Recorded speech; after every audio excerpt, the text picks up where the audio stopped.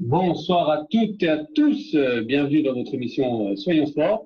On est ensemble de 18h à 19h30 pour refaire toute l'actualité euh, sportive, tout ce qui s'est passé ce week-end sur tous les terrains de l'Hexagone et surtout tout ce qui s'est passé en région Bourgogne-Franche-Comté. On va parler bien évidemment Ligue des Champions, Europa League, Ligue 1, Ligue 2 avec la page spéciale consacrée au Football Club Sochaux euh, Montbéliard qui s'est imposé du côté de Rodez 2 à 0. Une belle victoire pour les, euh, les Sochaliens qui enchaînent après euh, Guingamp. On viendra également sur National 2, National 3, mais là, il n'y a pas eu de championnat. Ce sera la Coupe de France. C'est le quatrième tour ce, ce week-end et on verra tout ça avec Frédéric Fitch dans le détail. On parlera handball également car il y avait un match du côté du, du, Palais des Sports ce week-end et qui s'est bien passé euh, pour le Grand Besançon de handball avec une victoire, la première de la saison euh, en Pro League. Et puis, on regardera tout ce qui s'est passé dans les autres euh, disciplines. On essaiera d'être complet. Il y aura des places à gagner ce soir pour Sochaux-Clermont et également pour Racing Monceau-les-Mines. Ce sera samedi prochain du côté du stade du Rosemont. Mais tout de suite, on va dire bonsoir à Frédéric Fitch. Bonsoir, Fred. Bonsoir à toutes et à tous. Bon, comment ça va? Bonsoir. Garde ton micro bien, bien face à toi. Voilà. Parce que c'est pas une timbale. Hein. On, on le balance pas à gauche, à droite. Exactement. C'est ça. Donc tout va bien, tout va bien. Bon, j'ai pas dit qu'on avait un invité quand même ce soir. Si, on a un invité. bien sûr, on a exactement en direction, on partira direction l'Arabie Saoudite pour retrouver Faneva Andriatsima, l'ex-attaquant du Football Club Sochaux-Montbéliard, l'ex-attaquant du Havre aussi également, euh, de Clermont. On viendra avec lui sur la Cannes où Madagascar a fait un, superbe parcours. On parlera de son aventure du côté de l'Arabie Saoudite, Saoudite, oui, pardon. Est-ce qu'il est avait été contacté par d'autres clubs Enfin bref, on, saura tout euh, dans les environs de, 18h30, voire, euh, voire avant, voire après, euh, ça dépend, car euh, j'espère qu'on aura une bonne liaison, car on n'appelle pas le village d'à côté. Hein. L'Arabie Saoudite, c'est quand même un petit peu loin. Donc, dans, le golfe, dans, le, dans le golfe Persique. Exactement, dans le golfe Persique, comme tu l'as indiqué, Fred. Eh bien, si on parlait un petit peu Ligue des Champions, bon, ça sonne déjà. Non, attendez, il faut. Allez, Fred, vas-y, réponds. Et les auditeurs sont déjà, sont déjà hyper chauds. On va tout de suite intéresser déjà à ce qui s'est passé en Ligue, euh, Ligue des Champions, euh, non, c'était rien. Oui, la Ligue des Champions qui aura lieu euh, ce week-end, comme je le disais, on va vous donner les groupes avec le Paris Saint-Germain qui s'était imposé du côté du Parc des Princes face au Real Madrid 3 à 0, où j'étais présent pour cette rencontre, on a passé un agréable moment. justement, le Real Madrid lui recevra le Club Bruges le 1er octobre à partir de 18h55, ce mardi si je ne me trompe pas. Et le Paris Saint-Germain, lui, se déplacera du côté de Galatasaray ce 1er octobre, mais à partir euh, de 21h. Bon, Fred, Paris gagnant, ça va être chaud. Hein. bon, après, après la victoire sur Real, oui, pourquoi pas, oui. Ah ben, écoute, en tout cas, ça va être chaud du côté de Galatasaray. victoire au nul, autrement. Victoire au nul pour toi. Ben, moi, je vois une victoire. Allez. Dans le groupe B, euh, Tottenham recevra le Bayern Munich, euh, donc ce sera ce mardi 1er octobre à partir de 21h. les deux rencontres seront à 21h. Et le deuxième choc, ce sera l'Étoile Rouge de Belgrade qui recevra l'Olympiakos. Dans ce groupe, le Bayern et Tottenham sont en tête. Enfin, surtout, le Bayern est en tête avec trois points et les deux autres clubs Tottenham et Olympiakos avec un point. Dans le groupe C, il y aura l'Atalanta Bergame qui recevra le Shakhtar Donetsk et euh, ça sera le 1er octobre ce mardi à 18h55 et à 21h euh, Man City recevra le Dynamo Zagreb.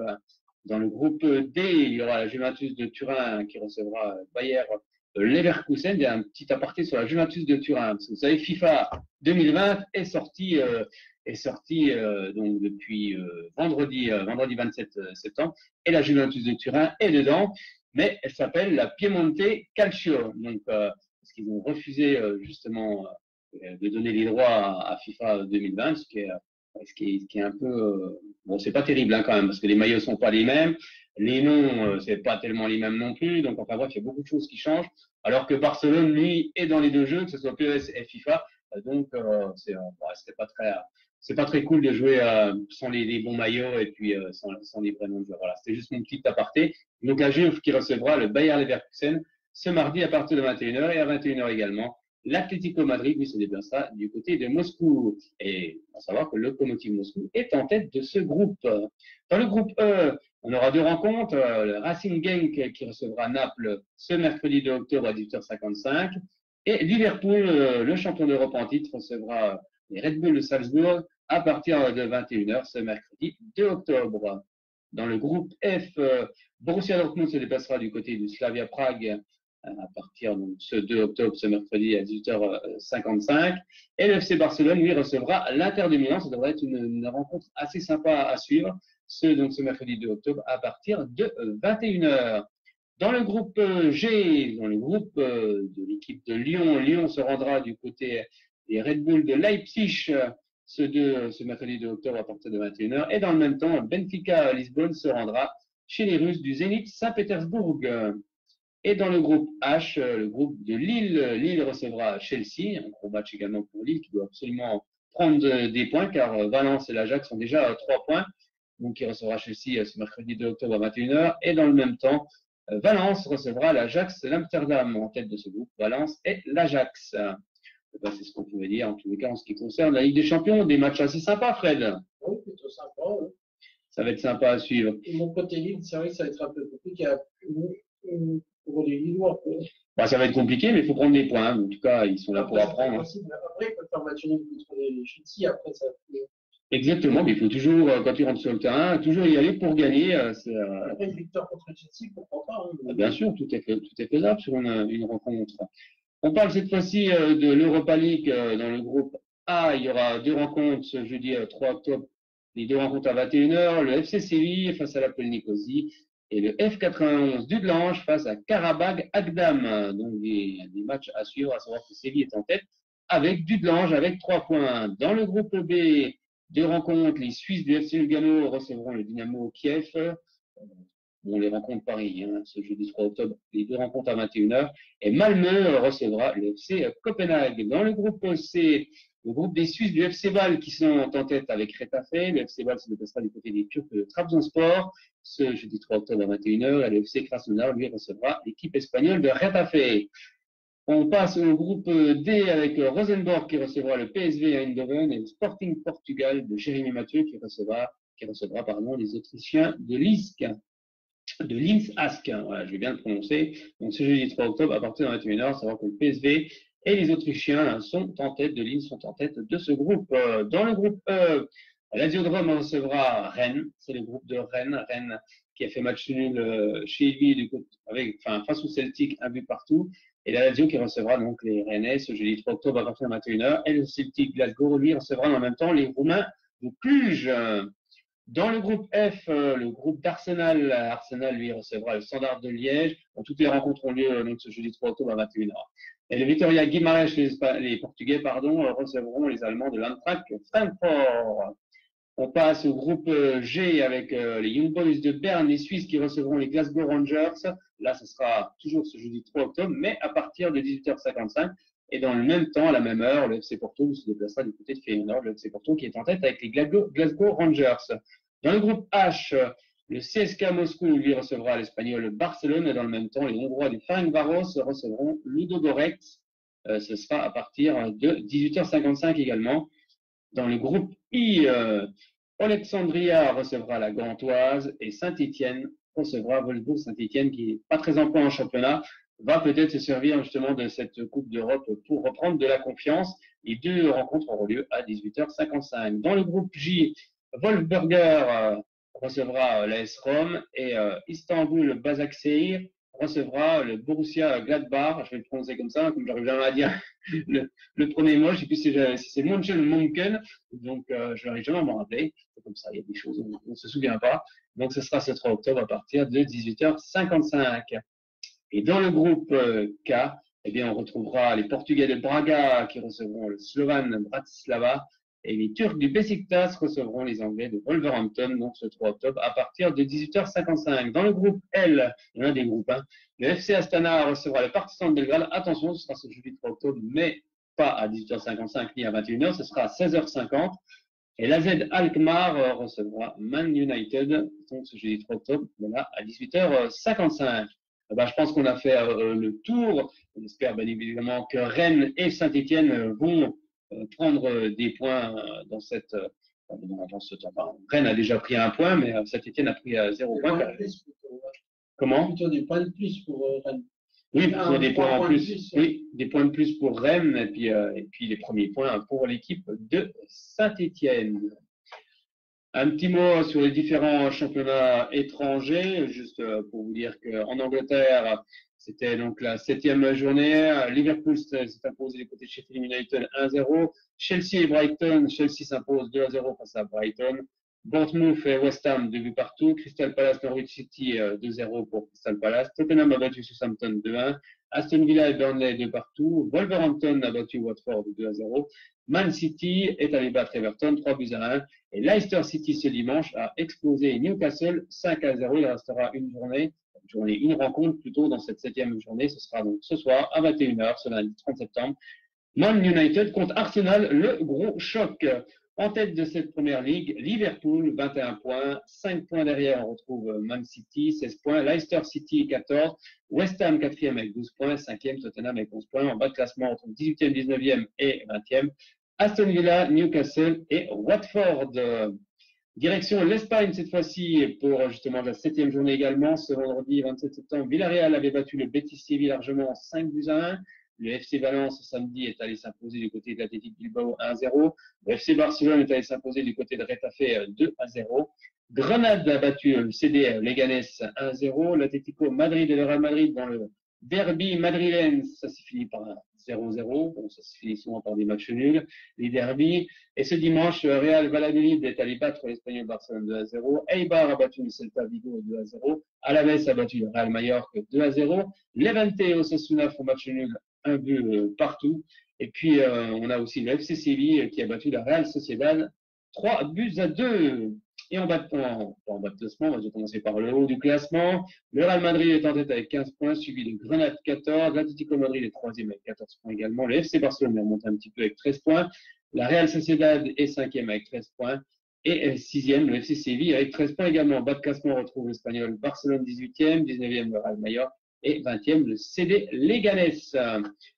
Direction l'Italie cette fois-ci. Oui, c'est mieux si j'ai le classement quand même, c'est plus facile. Avec euh, la sixième journée, avec les matchs qui avaient lieu euh, ce samedi, il y en avait trois, avec la Juventus de Turin qui a battu Spal Ferrara, deux buts à zéro, donc un but de Cristiano Ronaldo, 78e minute de jeu.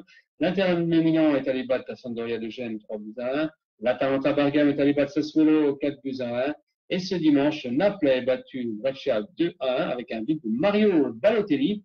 Également, la Lazio de Rome a battu le Genoa 4 à 0. L'Udinese a battu Bologna 1 à 0. L'AS Rome est allé battre Lecce 1 à 0. Cagliari et Eras Verone un but partout. La Fiorentina est allée battre euh, le Milan AC 3 1 avec un but, encore une fois, de Franck Ribéry, 78e minute de jeu. Voilà, même minute de jeu que, que Ronaldo. Et puis, il restera une journée, euh, ce, donc ce lundi 30 septembre, à 20h45. Parme recevra le Torino. En tête de ce calcio, l'Inter de Milan avec 18 points, suivi de la Juventus Turin 16 points, l'Atalanta Bergame 13, quatrième Naples avec 12 points, retrouve ensuite cinquième l'AS Rome 11 points, et sixième la Lazio Rome avec 10 points en bas de classement, le Ginola est 18e, suit, euh, en tout cas ensuite derrière il y a le Spal Ferrara et 20e le bon dernier, la Sampdoria de Gênes. Direction la Bundesliga, ja, ja, is good. Ah, on va, je commence à parler allemand, c'est pas bon. On va commencer avec le, ce vendredi 27 euh, euh, septembre, c'était le début de la sixième journée avec l'Eintracht Francfort qui est allé battre Union Berlin 2 buts à 1. Le Borussia Gladbach est allé battre Offenheim 3 0. Il y a beaucoup de victoires extérieures. Hein. Bayern Leverkusen est allé battre 3 0. Le Bayern Munich est allé battre du Paderborn 3 buts à 2 un petit peu plus compliqué. Wolfsburg est allé battre Mayence 1-0. Schalke 04 est allé battre euh, Leipzig 3 buts à 1. Et également, le Borussia Dortmund et le Werder de Brême font match nul 2 buts partout. Et ce dimanche, Fribourg est allé battre Düsseldorf 2 à 1. Et le Hertha Berlin est allé battre Cologne 4 à 0. Au classement, on retrouve le Bayern Munich en tête avec 14 points. Suivi de Leipzig 13 points, troisième. Fribourg 13 points. Une surprise hein, d'avoir Fribourg euh, à, ce niveau, en tout cas dans les premières positions. Schalke 13 points également. Gladbach est 5e avec 13 points. 6e Leverkusen avec 13 points. Bas classement, on retrouve 16e Mayence, 17e Cologne et 18e Paderborn. C'est bien tout ce qu'on pouvait dire en tous les cas en ce qui concerne les championnats, le petit tour d'horizon des championnats étrangers. Maintenant, on va revenir s'occuper de la Ligue 1, mais avant, on va parler du championnat, euh, des résultats du championnat féminin avec, euh, c'était la quatrième journée avec Montpellier qui a battu euh, Dijon 6 à 0. Le Paris FC a battu Marseille, l'Olympique de Marseille 3 buts à 1. Soyo est allé battre le FC Metz 2 à 0. Fleury est allé battre Reims 1 à 0. Lyon est allé battre Guingamp 5 buts à 1. Et le Paris Saint-Germain a battu euh, l'équipe euh, de Bordeaux, 3 buts à 0. Au classement, ça donne Lyon en tête avec 12 points, suivi du Paris Saint-Germain, 12 points également, mais la différence de but euh, fait que le PSG est second. Troisième Bordeaux, quatrième Montpellier. En bas de classement, on retrouve en dernière position l'équipe de Dijon avec 0 points au compteur pour le moment. Eh bien, on va fermer cette, ce championnat de division 1 féminin que vous pouvez retrouver d'ailleurs chez nos confrères de Canal+, hein, où la, en tout cas, ce, championnat est relié. En tout cas, c'est une bonne chose. Oui, ça. J'allais dire une autre chose. J'allais dire une autre chaîne Non, c'est Canal. C'est bien ça. c'est bien féminin. Oui. D1 masculine. Eh non, c'est pas pareil. C'est pas pareil. D'ailleurs, il faut. D'ailleurs, il faudra arrêter de dire. Euh, bon, bah là, on est obligé de, de détailler, mais arrêter de dire D1 masculine. Euh, quand c'est la Ligue 1, on sait que c'est masculin. Et, puis, euh, et puis tiens, bah, est-ce qu'il y a un naming sur le, championnat de D1 féminin? Est-ce qu'il y a, d'ailleurs, pour arrêter de dire féminin, est-ce qu'il y a, est-ce qu'il y a un naming Tiens, bah, je te laisse chercher un petit peu s'il y a un naming comment, comment on balle avec la Ligue Butagaz Énergie? Bah, tu nous diras ça. On va maintenant s'intéresser à ce qui s'est passé en Ligue 1. Et puis, euh, après, on, on, coupera, on fera, on coupera un petit peu la page Ligue 1 pour accueillir justement Faneva Anguatima qui devait venir un petit peu plus tard pour cette émission vers 19h, ou 20h en Arabie Saoudite, mais il est obligé de, décaler un petit peu euh, car il y a des petits imprévus euh, de dernière minute. Mais en tout cas, on sera très très heureux de l'accueillir dans quelques minutes. Et tout de suite, on va parler de la Ligue 1, de tout ce qui s'est passé ce week-end.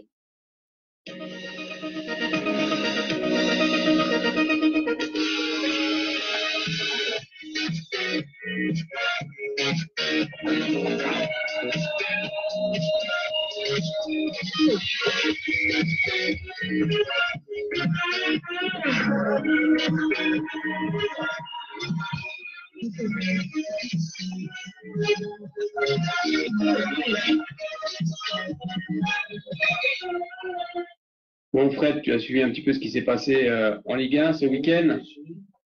Tu as suivi? Tu as bien suivi? Pas mal, parce que bon, j'avais qu'un match hier après-midi. Attends, attends, attends, voilà, je pas ouvert le micro. Vas-y, vas-y, c'est mieux. Match. Ah, bah, j'entends mieux, là, d'un coup. Vu que le match était hier après, le Racing était hier après-midi, je suis en partie la Ligue 1. Exactement. Eh bien, on va commencer euh, ce petit tour euh, d'horizon euh, de la Ligue 1. Eh bien, moi, je te propose d'aller du côté du parc OL. Et ça, c'était du côté de Lyon, où l'Olympique lyonnais. Pas, match, il n'y a pas une match vendredi hein, en plus. Non, il n'y a pas une match vendredi parce qu'il y avait l'équipe de volley qui jouait en même temps. Et qui, a, perdu. Et qui a fini, je ne sais pas s'ils ont fini troisième. Eh ben, tu vas nous donner cette info tout à l'heure. Cherche. Eh bien, on va regarder ce qui s'est euh, passé avec la défaite de l'Olympique euh, lyonnais 1-0. Un but de Marcel euh, contre son camp, la 59e minute du jeu. Il n'arrive pas à dégager, il se prend un peu les, clés dans le tapis et ça finit au fond. Nantais n'en demandait pas mieux. Et il repart avec les trois points et il laisse les Lyonnais dans le doute. Je vous propose tout de suite d'écouter la réaction de Lucas Touzard, le milieu défensif de cette équipe de Lyon forcément, lui, il dit simplement on aurait aimé euh, faire, euh, faire mieux. Et Christian euh, Gourcuff, on ne s'attendait pas forcément à être en, à être en tête de, la pas de, la Ligue 1, non, pas de la Ligue 1, mais en tout cas d'être dans les dans les premières positions. Voilà, on est, déçus ce soir. On aimerait faire mieux pour nous, pour les supporters. Ça nous fait chier de faire une série comme ça, mais voilà, ça, ça, passe par des moments comme ça. Ouais, Christian Gourcuff, le coach du leader provisoire de notre Ligue 1. Est-ce franchement, est-ce que vous vous attendiez à être leader provisoire? Après 8 matchs, coach Oh, je ne m'attendais à rien. Euh, c'est surtout des, des, des satisfactions dans la, dans l'implication des, des, joueurs sur le plan de, de la solidarité et puis de, de l'organisation aujourd'hui, parce qu'on a été, euh, je pense que notre organisation a, a troublé cette équipe lyonnaise qui, qui, qui, qui, doutait, vous savez.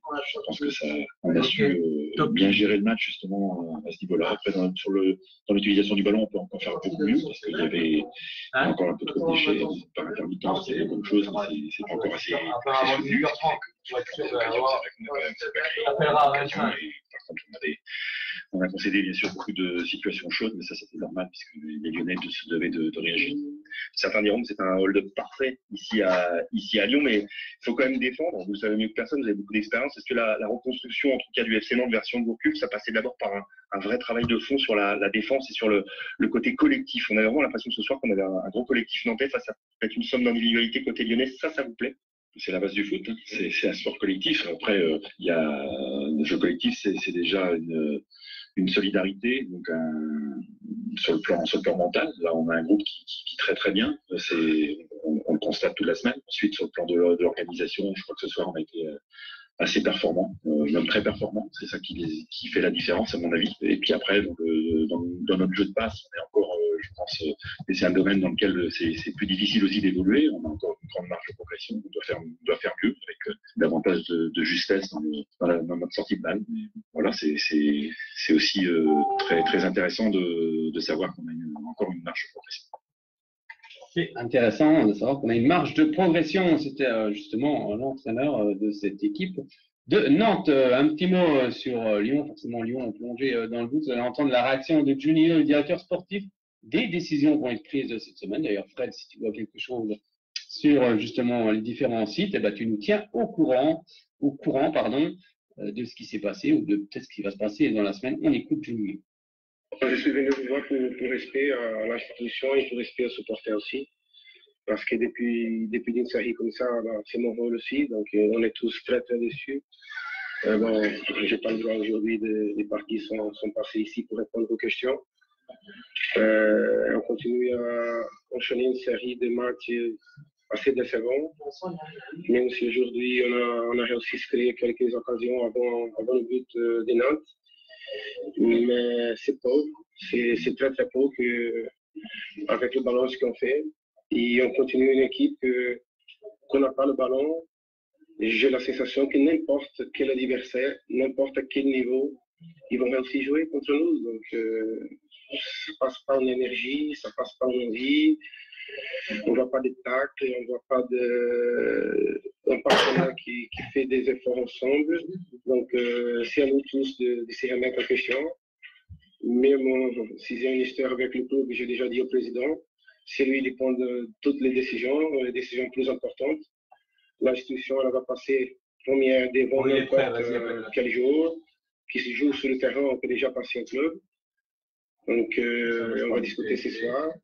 Il n'est pas content non plus, bien sûr. Euh, c'est lui qui est là depuis 33 ans. Et on verra quelle décision il va prendre. On verra quelle décision, justement, Jean-Michel Aulas va prendre, peut-être dans la semaine, peut-être le limogeage de Silvino. C'est toujours, toujours pareil. Hein. C'est toujours l'entraîneur qui paye un petit peu les, les pots cassés. On va maintenant s'intéresser à notre compte qui avait lieu à 17h30. C'est le Paris Saint-Germain qui s'est placé euh, du côté de Bordeaux. Bordeaux euh, qui reste sur une, une, bonne dynamique en ce moment. Finalement, finalement euh, euh, défaite des, des Bordelais 1-0, un but de Neymar. Hein, on me donne le classement de la Ligue 2, ça va pas le faire. Un de Neymar à la 70e minute de jeu. On va écouter la réaction de Laurent Koscielny. On n'avait pas décidé de, jouer derrière. Pourtant, ce qu'a fait un petit peu cette équipe de Bordeaux. Hein, on aurait aimé qu'elle qu soit un peu plus incisive dans le jeu. Et Thomas Tourel, on a fait un très bon match. On les, euh, on les écoute. On n'avait pas commencé le match pour rester dans notre surface, mais euh, non, non, on, avait un plan de jeu d'essayer de, repartir court, d'essayer d'avoir le plus souvent euh, le ballon. Après, on a eu beaucoup de déchets, techniques. Euh, on a essayé d'éviter de jouer dans, dans la profondeur. Maintenant, sur le match, ça a, été, ça a été dur. On savait de toute façon que euh, au, niveau, euh, au niveau de la possession, on savait qu'ils allaient avoir une réaction par rapport à leur match euh, de mercredi. Maintenant, dans l'état d'esprit, voilà, toute l'équipe a fait des efforts. ça, a tenu à, ça a tenu rien. Après, voilà, c'est une grande équipe. dès qu'ils jouent comme ça, avec beaucoup de qualité technique, beaucoup de vitesse, c'est compliqué de, les jouer. On peut sortir voilà, la tête haute du match, même si ça a été, ça a été difficile. On a plus souvent défendu qu'attaqué. Mais voilà, dans, dans, les efforts, c'est bien pour, pour la suite du championnat dès qu'on est passé en 4-4-2, ça a été ça a été mieux. On a pu mettre le pressing beaucoup plus rapidement sur, sur cette équipe. Après, euh, c'est vrai que la, rentrée de Benito euh, à, gauche aussi a fait, a fait du bien euh, parce que c'est un vrai, un vrai latéral gauche, donc il, a pu, il a pu apporter aussi offensivement. Maintenant, on essaye de, travailler au quotidien les systèmes que le coach veut, appliquer. ça demande beaucoup, beaucoup d'efforts, beaucoup de réflexion, mais voilà, on a un groupe réceptif qui a envie de, qui a envie de progresser coach, la vie, elle est quand même plus belle quand euh, il y a Neymar et Mbappé sur le terrain. Euh, Kylian sur le terrain. La vie est plus belle. La vie est plus belle, oui, bien sûr. Parce qu'on gagne vitesse, qualité, et les deux ensemble sont, sont, sont décisifs, c'est clair. Mais je suis heureux parce qu'on a gagné mérité, on a, on a fait un bon, bon match avec une bonne performance. Toute l'équipe a travaillé énorme contre le ballon. Et euh, on a, on a joué avec euh, beaucoup de possession, beaucoup de vitesse, beaucoup de qualité. On a créé beaucoup d'occasions. Les seules choses, on n'a pas marqué. Et pour ça, c'était trop serré jusqu'à la fin, mais la performance était très, très, très bien. C'était euh, justement donc la victoire du Paris Saint-Germain du côté de Bordeaux. Et maintenant, on va faire un petit break parce que notre invité est là, bon, pas en studio hein, parce qu'il est un petit peu, un petit peu loin c'est l'ex-attaquant du Football Club Sochaux Montbéliard, Faneva André Atsima. Bonsoir Faneva. Comment ça va? Ouais, ça va très bien. Hein. Bon, tu es, tu es en Arabie euh, Saoudite, c'est bien ça? Oui, bah, je passe beaucoup d'Arabie Saoudite, hein. euh, exactement, je suis là-bas. Et je passe aussi euh, les bonjours de tous les auditeurs de, de Charlie et surtout toute l'équipe. Eh bien, merci beaucoup. Merci euh, pour, pour toute l'équipe. On va essayer de synchroniser un petit peu les micros. Alors, deux mois après, justement, cette canne, comment vous, comment tu, tu as vécu, on va se tutoyer parce se connaît un petit peu, comment tu as vécu, justement, cette, cette canne? Ça a été magique, hein enfin, on est tous devenus amoureux de Madagascar. Hein. oui, bien sûr, ouais. Franchement, c'est un parcours extraordinaire. Euh, nous, notre objectif à la base, c'est de gagner un match parce que euh, il faut gagner un match pour rentrer dans l'histoire. Donc, euh, c'est ça notre objectif principal, de, de rentrer dans l'histoire, vraiment le football malgache pour gagner un match dans un phase finale. Après, euh, on a donné l'opportunité de, de gagner quelques matchs, donc on a pris. Mais euh, franchement, c'était une euh, aventure extraordinaire et, que j'espère que ben, le pays revivra encore cette, euh, cette épopée-là dans, quelques années, pas encore dans deux ans. Oui, parce qu'il faut quand même rappeler que dans, ceux que vous avez battus, il y avait quand même le Nigeria qui avait remporté trois fois cette canne, donc c'est pas rien. Oui, bien sûr. Après, euh, comme moi, euh, sur un match, c'est basculé. Après, l'essentiel, c'est que ben, il y aura, il y aura des accueils pour les jeunes, pour les enfants à Madagascar, pour qu'on puisse renouveler euh, régulièrement euh, la sélection et pour être, euh, pour être euh, constant en fait. C'est ça l'essentiel, je pense. Alors, je suppose que ça, ça a quand même suscité un, un véritable engouement au, au, pays. Est-ce que justement, ça va permettre à, ce que des infrastructures soient créées, et justement pour rebondir sur cette sur la formidable canne des Baréas Oui, ben, j'espère bien. J'espère bien parce que ça a quand même réveillé l'amour du ballon au pays. Donc, moi, j'espère que, que, maintenant, on va avoir des investisseurs, on va avoir des partenaires, par exemple, pour créer des centres et même de foot. Mais bon, après, tout ça, ça peut, ça peut pas au jour au lendemain, mais il faut beaucoup de travail. Et déjà, il faut, moi, je pense qu'il faut surtout aussi, euh, euh, à la tête du dirigeant du football, qu'il soit honnête et que, que, les gens ils viennent à Madagascar pour vraiment aider euh, le football Donc, bah, j'espère vraiment j'espère vraiment que cette canne euh, a décollé quelque chose au pays et, surtout euh, rien, pas que dans le foot, dans tous les domaines parce que euh, avec peu de moyens qu'on avait, on peut réaliser ce parcours-là. Donc, c'est un exemple pour tout le pays et que dans tous les domaines, mais j'espère vraiment, vraiment qu'on peut, qu peut décoller après cette canne-là. Bon, l'objectif maintenant, c'est de se qualifier pour la prochaine, je suppose. Ben, J'espère. Ben, il, y aura, il y aura déjà la qualification du mois de novembre. Il y a deux matchs, donc euh, il y aura deux matchs. Donc euh, on verra, on verra comment ça se passe. Les garçons dans leur club respectif. Donc euh, on verra, on verra, comme dis, euh, d'ici quelques, quelques mois. Donc euh, on verra ça. Pour l'essentiel, c'est que ben, il faut, il faut, encore soit au rendez-vous en 2021. Allez, moi j'ai une question d'un supporter justement des Barea, Rado Rave Lojaona, j'espère que j'ai bien prononcé, donc je le prononce mal, je suis désolé, je m'en excuse. Alors ils te disent salut Fanny, pourquoi les Barea ne font pas de, de regroupement pendant, pendant la trêve internationale? Un point d'interrogation, vous n'aviez pas besoin? Oui, ben, évidemment, il y a, il y a déjà euh, une date qui est passée, on n'a pas eu de match amical. Après, euh, moi, je sais pas, en fait, c'est pas moi qui organise les matchs amicaux, donc euh, il faut poser la question à, à les dirigeants. Mais euh, ben, nous, on attend avec impatience le retrouver avec les joueurs, donc euh, euh, c'est à l'instant du commandage qui, qui doit qui doit qui doit qui doit répondre à cette question, mais pas à moi. moi, je suis un joueur, je suis un capitaine, mais je suis un joueur. Bien sûr, bien sûr. Un petit mot sur euh, l'entraîneur quand même, Nicolas Dupuis, quand même, qui fait un, travail remarquable depuis des années et des années. Oui, bien sûr, c'est c'est un coach euh, qu'on a découvert il y a, trois ans, avec Lionel Charbonnet à l'époque. Et Lionel, il était parti, mais lui, il était resté avec nous. Euh, il a eu un, il, a pris l'équipe vraiment euh, deux semaines avant le match à Automobile. Il était là, il, euh, il était là, il a, il a tout aidé. Il, a quand même payé quelques frais d'avion euh, du premier match parce qu'il était joueur. Euh, ça marque aussi la, la du pays. Maintenant, euh, il est euh, de 4 ans. J'espère que qu'il va porter beaucoup pour Malgache et que et que euh, et qu'il ramène beaucoup euh, beaucoup beaucoup euh, beaucoup, beaucoup pour former vraiment euh, euh, les enfants Madagascar pour qu'on va avoir des belles générations euh, dans le futur. Bon, on l'espère aussi, car on a vraiment vécu un, très bon moment.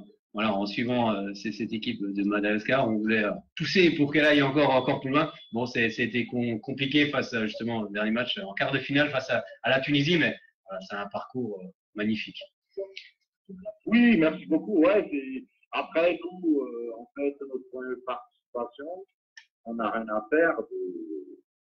Après, on a tout donné. On a mis beaucoup de cœur, on a mis aussi, euh, euh, on a mis aussi la tête, et- surtout, surtout beaucoup de cœur euh, pour rendre les, les Malgaches fiers. Et c'est ce qu'on ce qu'on a réussi à faire. Et donc, on est très contents et que j'espère que ça va continuer comme ça.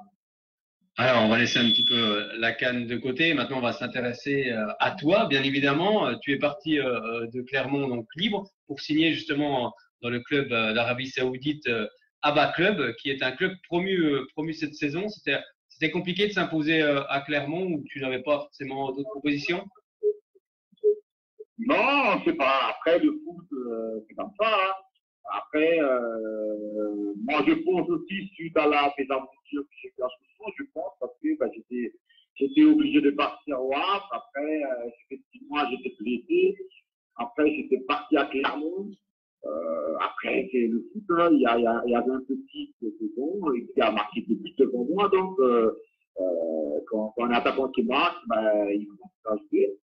Et ben moi, j'ai accepté ce rôle, mais c'est pas, c'est pas un problème pour moi. Moi aussi, j'avais un objectif euh, en fin de saison, euh, d'être bon à la canne, donc euh, c'est ce que j'ai réussi à faire. Et c'est ce que m'a permis euh, de signer dans ce euh, club en Arabie Saoudite. Donc, non, pour moi, euh, bah, ça fait un, un saison euh, pas mal à Clermont. Euh, même sportivement, ça marche pas, ça ne marchait pas trop. J'ai pas beaucoup de temps de jeu, mais ça me permet quand même d'être performant à la canne et de trouver un, un club. c'est ce que je voulais après.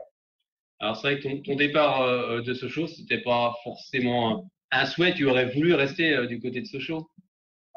Oui, bien sûr, ouais, mais souviens, il y a, il y a deux ans, il y a deux ans, j'ai eu une proposition d'un club dans- en Arabie Saoudite, euh, mais, euh, mais euh, le président m'a dit euh, qu'il fait un prolonger, donc moi, je, souhaiterais finir ma carrière là-bas. Mais c'était pas fait parce que bah, on, on savait toute l'histoire, donc c'était pas fait. Mais moi, je voulais faire une modération. Euh, c'est déjà mon objectif. Mais bon, ah, comme ça, c'est- il y a les faits, il y a les, il y a les actions. Donc, euh, écoute, moi, non, c'est pas grave. On va pas rester sur euh, il y a fait. Et, maintenant, écoute, euh, j'essaie de, j'essaie encore de jouer un an, un an de plus peut-être à- après cette saison et peut-être retourner en France et on verra ça. L'essentiel, c'est que j'ai trouvé un bon club euh, en première division en Arabie Saoudite qui me permet de, continuer encore euh, mon aventure euh, sur le football. Alors, c'est vrai que tu, tu as signé, donc, on, l'a dit, à Abba Club, un, un championnat où il y a 16, 16 équipes. Comment tu juges justement le, le niveau de, de ce championnat en Arabie Saoudite qu'on ne connaît pas forcément euh, très bien, euh, justement, dans l'Hexagone? En Europe, plus précisément. Oui, le championnat ici, en fait, c'est un petit peu, euh, bah, entre guillemets, exotique. Après, c'est un championnat professionnel. Il y a beaucoup de grands joueurs dans, dans les grandes équipes. Après, on est promu. Je suis avec euh, Mehdi, euh, Mehdi Tarat, qui était à Lens. Oui. On essaie de, de, de se maintenir déjà. Mais euh, le niveau, il y a, il y a en fait 4 équipes quand même, ils sont très très haut niveau parce qu'ils sont des grands joueurs. Après, euh, la règle de l'équipe, ça sera pour, pour se maintenir. Donc, euh, le championnat il est très très ouvert et que euh, tout le monde peut se maintenir, mais euh, c'est à nous de mettre l'ingrédient nécessaire pour se maintenir. cette année. Alors, c'est vrai que c'est, je suppose que c'est une autre, une autre culture aussi euh, euh, pour toi également. Comment on, s'habitue? Ouais, c'est vrai que c'est une autre culture. Après, euh, moi, ça, ça, c'est ma troisième fois que je, euh, pars dans un pays je veux. C'est la première fois quand j'étais, quand j'avais euh, 19 ans, j'étais parti à l'île. Après, j'étais parti en France. Et là, maintenant, je suis en Arabie Saoudite. Donc, j'ai quand même pu découvrir beaucoup de pays. Après, je suis habitué à faire du travail. Moi, quand j'étais arrivé en France, j'étais tout seul aussi comme ça. Après, le pays, quand même, le pays, il est. Euh, euh, comment le dire ça C'est un pays jeune. Et il y a beaucoup de jeunesse. Moi, je pense que euh, la jeunesse saoudienne, c'est très, très ouvert. Et non, je me sens bien ici. Il n'y a pas de souci, il n'y a, a pas de problème de l'adaptation. Et euh, ça me fait penser un peu l'Égypte euh, quand on était là-bas à la CAN. C'est un petit peu pareil que l'Égypte, mais, euh, mais avec beaucoup de diversité. Le, le pays, il est, beau. C'est un beau pays. il y, a, il y a beaucoup, justement, tu as parlé d'une population assez jeune. Il y a beaucoup de monde euh, dans les stades. Le football est. Attends, je t'entends pas bien après. Je, je dis comme c'est, euh, comme tu, tu viens de dire que c'est un pays assez jeune. Est-ce qu'il y a beaucoup de monde dans, dans les stades? Est-ce que c'est, le fo- est-ce que le football est un sport, euh, voilà, un, sport euh, pas privilégié là-bas, mais je veux dire un sport prisé, voilà. On faisait euh, le numéro, on a perdu Faneva, oui, la communication, euh, voilà, c'est juste qu'en Arabie Saoudite, comme on le disait euh, tout à l'heure, euh, donc il y a eu un petit, un petit, souci, on a perdu, on a perdu la, com, oui. Alors pour vous dire quand même que le club d'Aba Club, comme là où est Faneva, Andrea Tsima est donc en, en septième position pour le moment avec 7 points. Le premier du classement, c'est Al Hilal. Allez, on va récupérer euh, Faneva. Donc Faneva, il devrait être ici. Faneva, es-tu avec nous? Oui, oui. Ah, ça, ça, ça a coupé un peu. hein. Ouais, c'était coupé, ouais. Ça, ça a coupé. Donc, euh, bah, je ne sais plus, je ne sais plus c'est qu'on en était. Donc, on, va. Oui, ben, On parlait, oui, justement, des, des jeunes dans le, dans le stade, comme tu disais que c'était une population assez jeune. Si le sport, euh, le football là-bas est un sport prisé. Oui, après, c'est euh, les, quand même l'État saoudien, il a, il a encouragé les gens pour venir au stade, pour supporter leur équipe. Après, quand même, c'est un championnat très pro- professionnel, là, au niveau de- des infrastructures, des médias. Mais euh, dans les grandes villes, du coup, il y a beaucoup de monde au stade. Après, moi, je suis dans une petite ville euh, euh, à côté, euh, c'est à côté de la mer, la mer Rouge. C'est une ville quand même qui est, qui est bien parce qu'il ne fait pas très chaud chez moi. Et, et j'aime bien parce qu'on peut se balader pendant l'après-midi. Il fait 28 degrés, donc c'est une belle ville. Ça va, il fait chaud, alors il fait bon. alors, c'est vrai que, bon, c'est vrai que tu es plus près euh, de la fin de ta carrière que du début de, de ta carrière, mais je sais que tu passes euh, tu, tu passes des diplômes, c'est ça, pour être entraîneur ou dirigeant? Attends, je t'entends pas bien, Fred. Non, je te, je te disais, euh, je disais, bon, c'est sûr que à 35 ans, tu étais plus près de la fin de ta carrière que, que, du début, mais je crois que tu passes des diplômes pour soit être entraîneur ou même dirigeant de, de club, c'est ça? Oui, bien sûr. Après, j'ai 35 ans aujourd'hui. Après, euh, je fais encore je euh, bah, un an de plus. Bon, plus on verra, mais bon, euh, l'essentiel, c'est que aussi, je ne veux pas, je veux pas faire sortir mon corps, j'arrive plus. Mais bon, je pense que physiquement, je peux encore jouer un ou deux ans. Donc, pour moi, pour moi, l'essentiel, c'est que on peut les tirer encore, je pense qu'on peut jouer encore au foot parce que quand on passe de l'autre côté, c'est un autre monde, c'est un autre rythme de vie. Donc, moi, je profite au maximum tant que je pourrais encore, euh, tant que je pourrais encore jouer. Et, l'essentiel, c'est ça. Mais euh, euh, je vais passer mes diplômes, je pense, euh, d'ici euh, d'ici deux ans, quand je reviens en France. Et, et on va pas, on va pas trop, on va pas trop, quitter le football, mais on va, on va rester à côté. Et tu, tu te sens justement euh, l'âme d'un entraîneur? C'est vraiment quelque chose qui t'anime? Pardon? J'ai dit, tu te sens vraiment l'âme d'un entraîneur? C'est vraiment quelque chose qui, qui t'anime? Ben, Je sais pas, je sais pas mais bon. Après, euh, tu, tu, tu partais diplôme d'entraîneur et le diplôme de management aussi en même temps, donc Oui. euh, ben, je sais pas si je vais être un bon entraîneur, mais, euh, mais bon, on, verra, on verra, et, euh, on va essayer de passer les diplômes possibles après le foot et on verra, on verra comment, euh, comment trouver, euh, trouver l'avenir.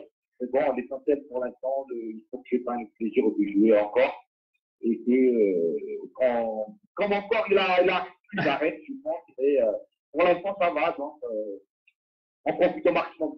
En tout cas, tu as de grosses, de grosses qualités humaines, donc je suis persuadé que tu feras un, très, bon, un, très bon entraîneur. Et, et ben justement, un petit mot, euh, tu- bon, tu sais bien qu'ici on parle bien évidemment de, de Sochaux car c'est euh, c'est notre club. Et euh, un petit mot sur cette équipe de Sochaux, tu as suivi un petit peu son parcours de début, début de saison et comment tu, tu la juges?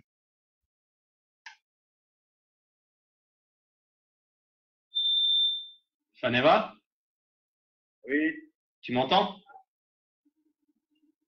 Allô? Oui? Est-ce que tu m'entends, Faneva? Oui, c'est pour là. Alors, je te disais justement, euh, nous, ici, on suit l'équipe, l'équipe de Sochaux. Euh, je voulais savoir si tu l'avais déjà vu évoluer depuis le début de saison et comment tu jugeais euh, cette équipe pour le moment? Oui, j'ai vu euh, deux, trois matchs de Sochaux, pense, cette année. Euh, bah, je connais aussi quelques joueurs encore. Je connais bien Christophe. Euh, je connais aussi Adolphe. Donc, je suis, euh, surtout les derniers matchs, je suis un peu, mais euh, moi, je euh, Omar, il a fait un très bon recrutement. Intelligent, euh, pas beaucoup de moyens, mais ils ont su quand même faire une bonne équipe et surtout, une bonne défense qui est solide et, et non, euh, je suis pas surpris du travail d'Omar parce que moi, je connais bien l'homme. Euh, j'ai pas connu en tant qu'entraîneur, mais je connais bien l'homme et euh, je pense que ben, il a fait très très belle recrutement et que, que j'espère qu'il sera un, des plus grands entraîneurs en Ligue 2 bientôt. Eh Ben, on l'espère en tous les cas pour Sochaux et surtout euh, pour lui, car c'est vrai que tu, tu l'as dit, c'est vraiment quelqu'un de très bien et on espère que ça va marcher. En tout cas, ça marche très bien pour Sochaux euh, pour le moment. Eh bien, on va te remercier euh, beaucoup, Faneva, d'être intervenu ce soir. On va te suivre du côté d'Abba Club. Je crois que tu es, blessé pour le moment, il me semble, c'est ça? Oui, je suis en rééducation. La, la semaine prochaine, je reprends rééducation. Donc, euh, euh, j'ai arrêté quand je suis mec sur le premier match. Je commence un peu comme ça. Je essayer de revenir bien. Euh, en plus, il y a la presse qui arrive. Donc, euh, j'ai des semaines encore de préparation pour, pour le prochain match. Et, et, et tout, euh, on va bien soigner pour bien revenir. Et, et à très bientôt. Et à très bientôt euh, dans la région. Donc, je vais passer euh, bientôt. Eh ben, écoute, on sera en tout cas très heureux de t'accueillir. On te souhaite euh, bah, un bon rétablissement, une bonne reprise justement avec le club euh, d'Aba Club. Et puis, et puis on va te, on va te suivre bien évidemment euh, sur les chaînes qui vont bien. Merci beaucoup Faneva. À bientôt. Merci Toto. Bonne soirée. Allez, à bientôt. Merci beaucoup. On va justement s'intéresser aux autres rencontres avec euh, les matchs qui suivent avec Reims-Dijon, avec la victoire de Dijon face à Reims. Dijon qui s'est imposé grâce à des buts de Julio Tavares à la 19e minute de jeu et également de Maman Baldé à la 48e minute de jeu. Et c'est pourtant Chavalrin qui va avoir le score pour cette équipe de Reims. Mais finalement, trois jours après avoir battu le Paris Saint-Germain, cette équipe de Reims a eu beaucoup de, mal. On va écouter la réaction de David Guillon qui lui dit les joueurs glissaient beaucoup ce soir et on n'a pas réussi à égaliser malgré de nombreux attaquants. Et Stéphane Jobert, Stéphane Jobard, pardon, cette victoire redonne confiance. Un mot sur euh, Mama Baldé également, vous allez l'écouter. On est très très bien rentré dans ce match avec euh, ce magnifique but de aurait fait une bonne équipe. Je pense que ça aurait été euh, Malheureusement, on n'a pas su le faire. On par, par, par,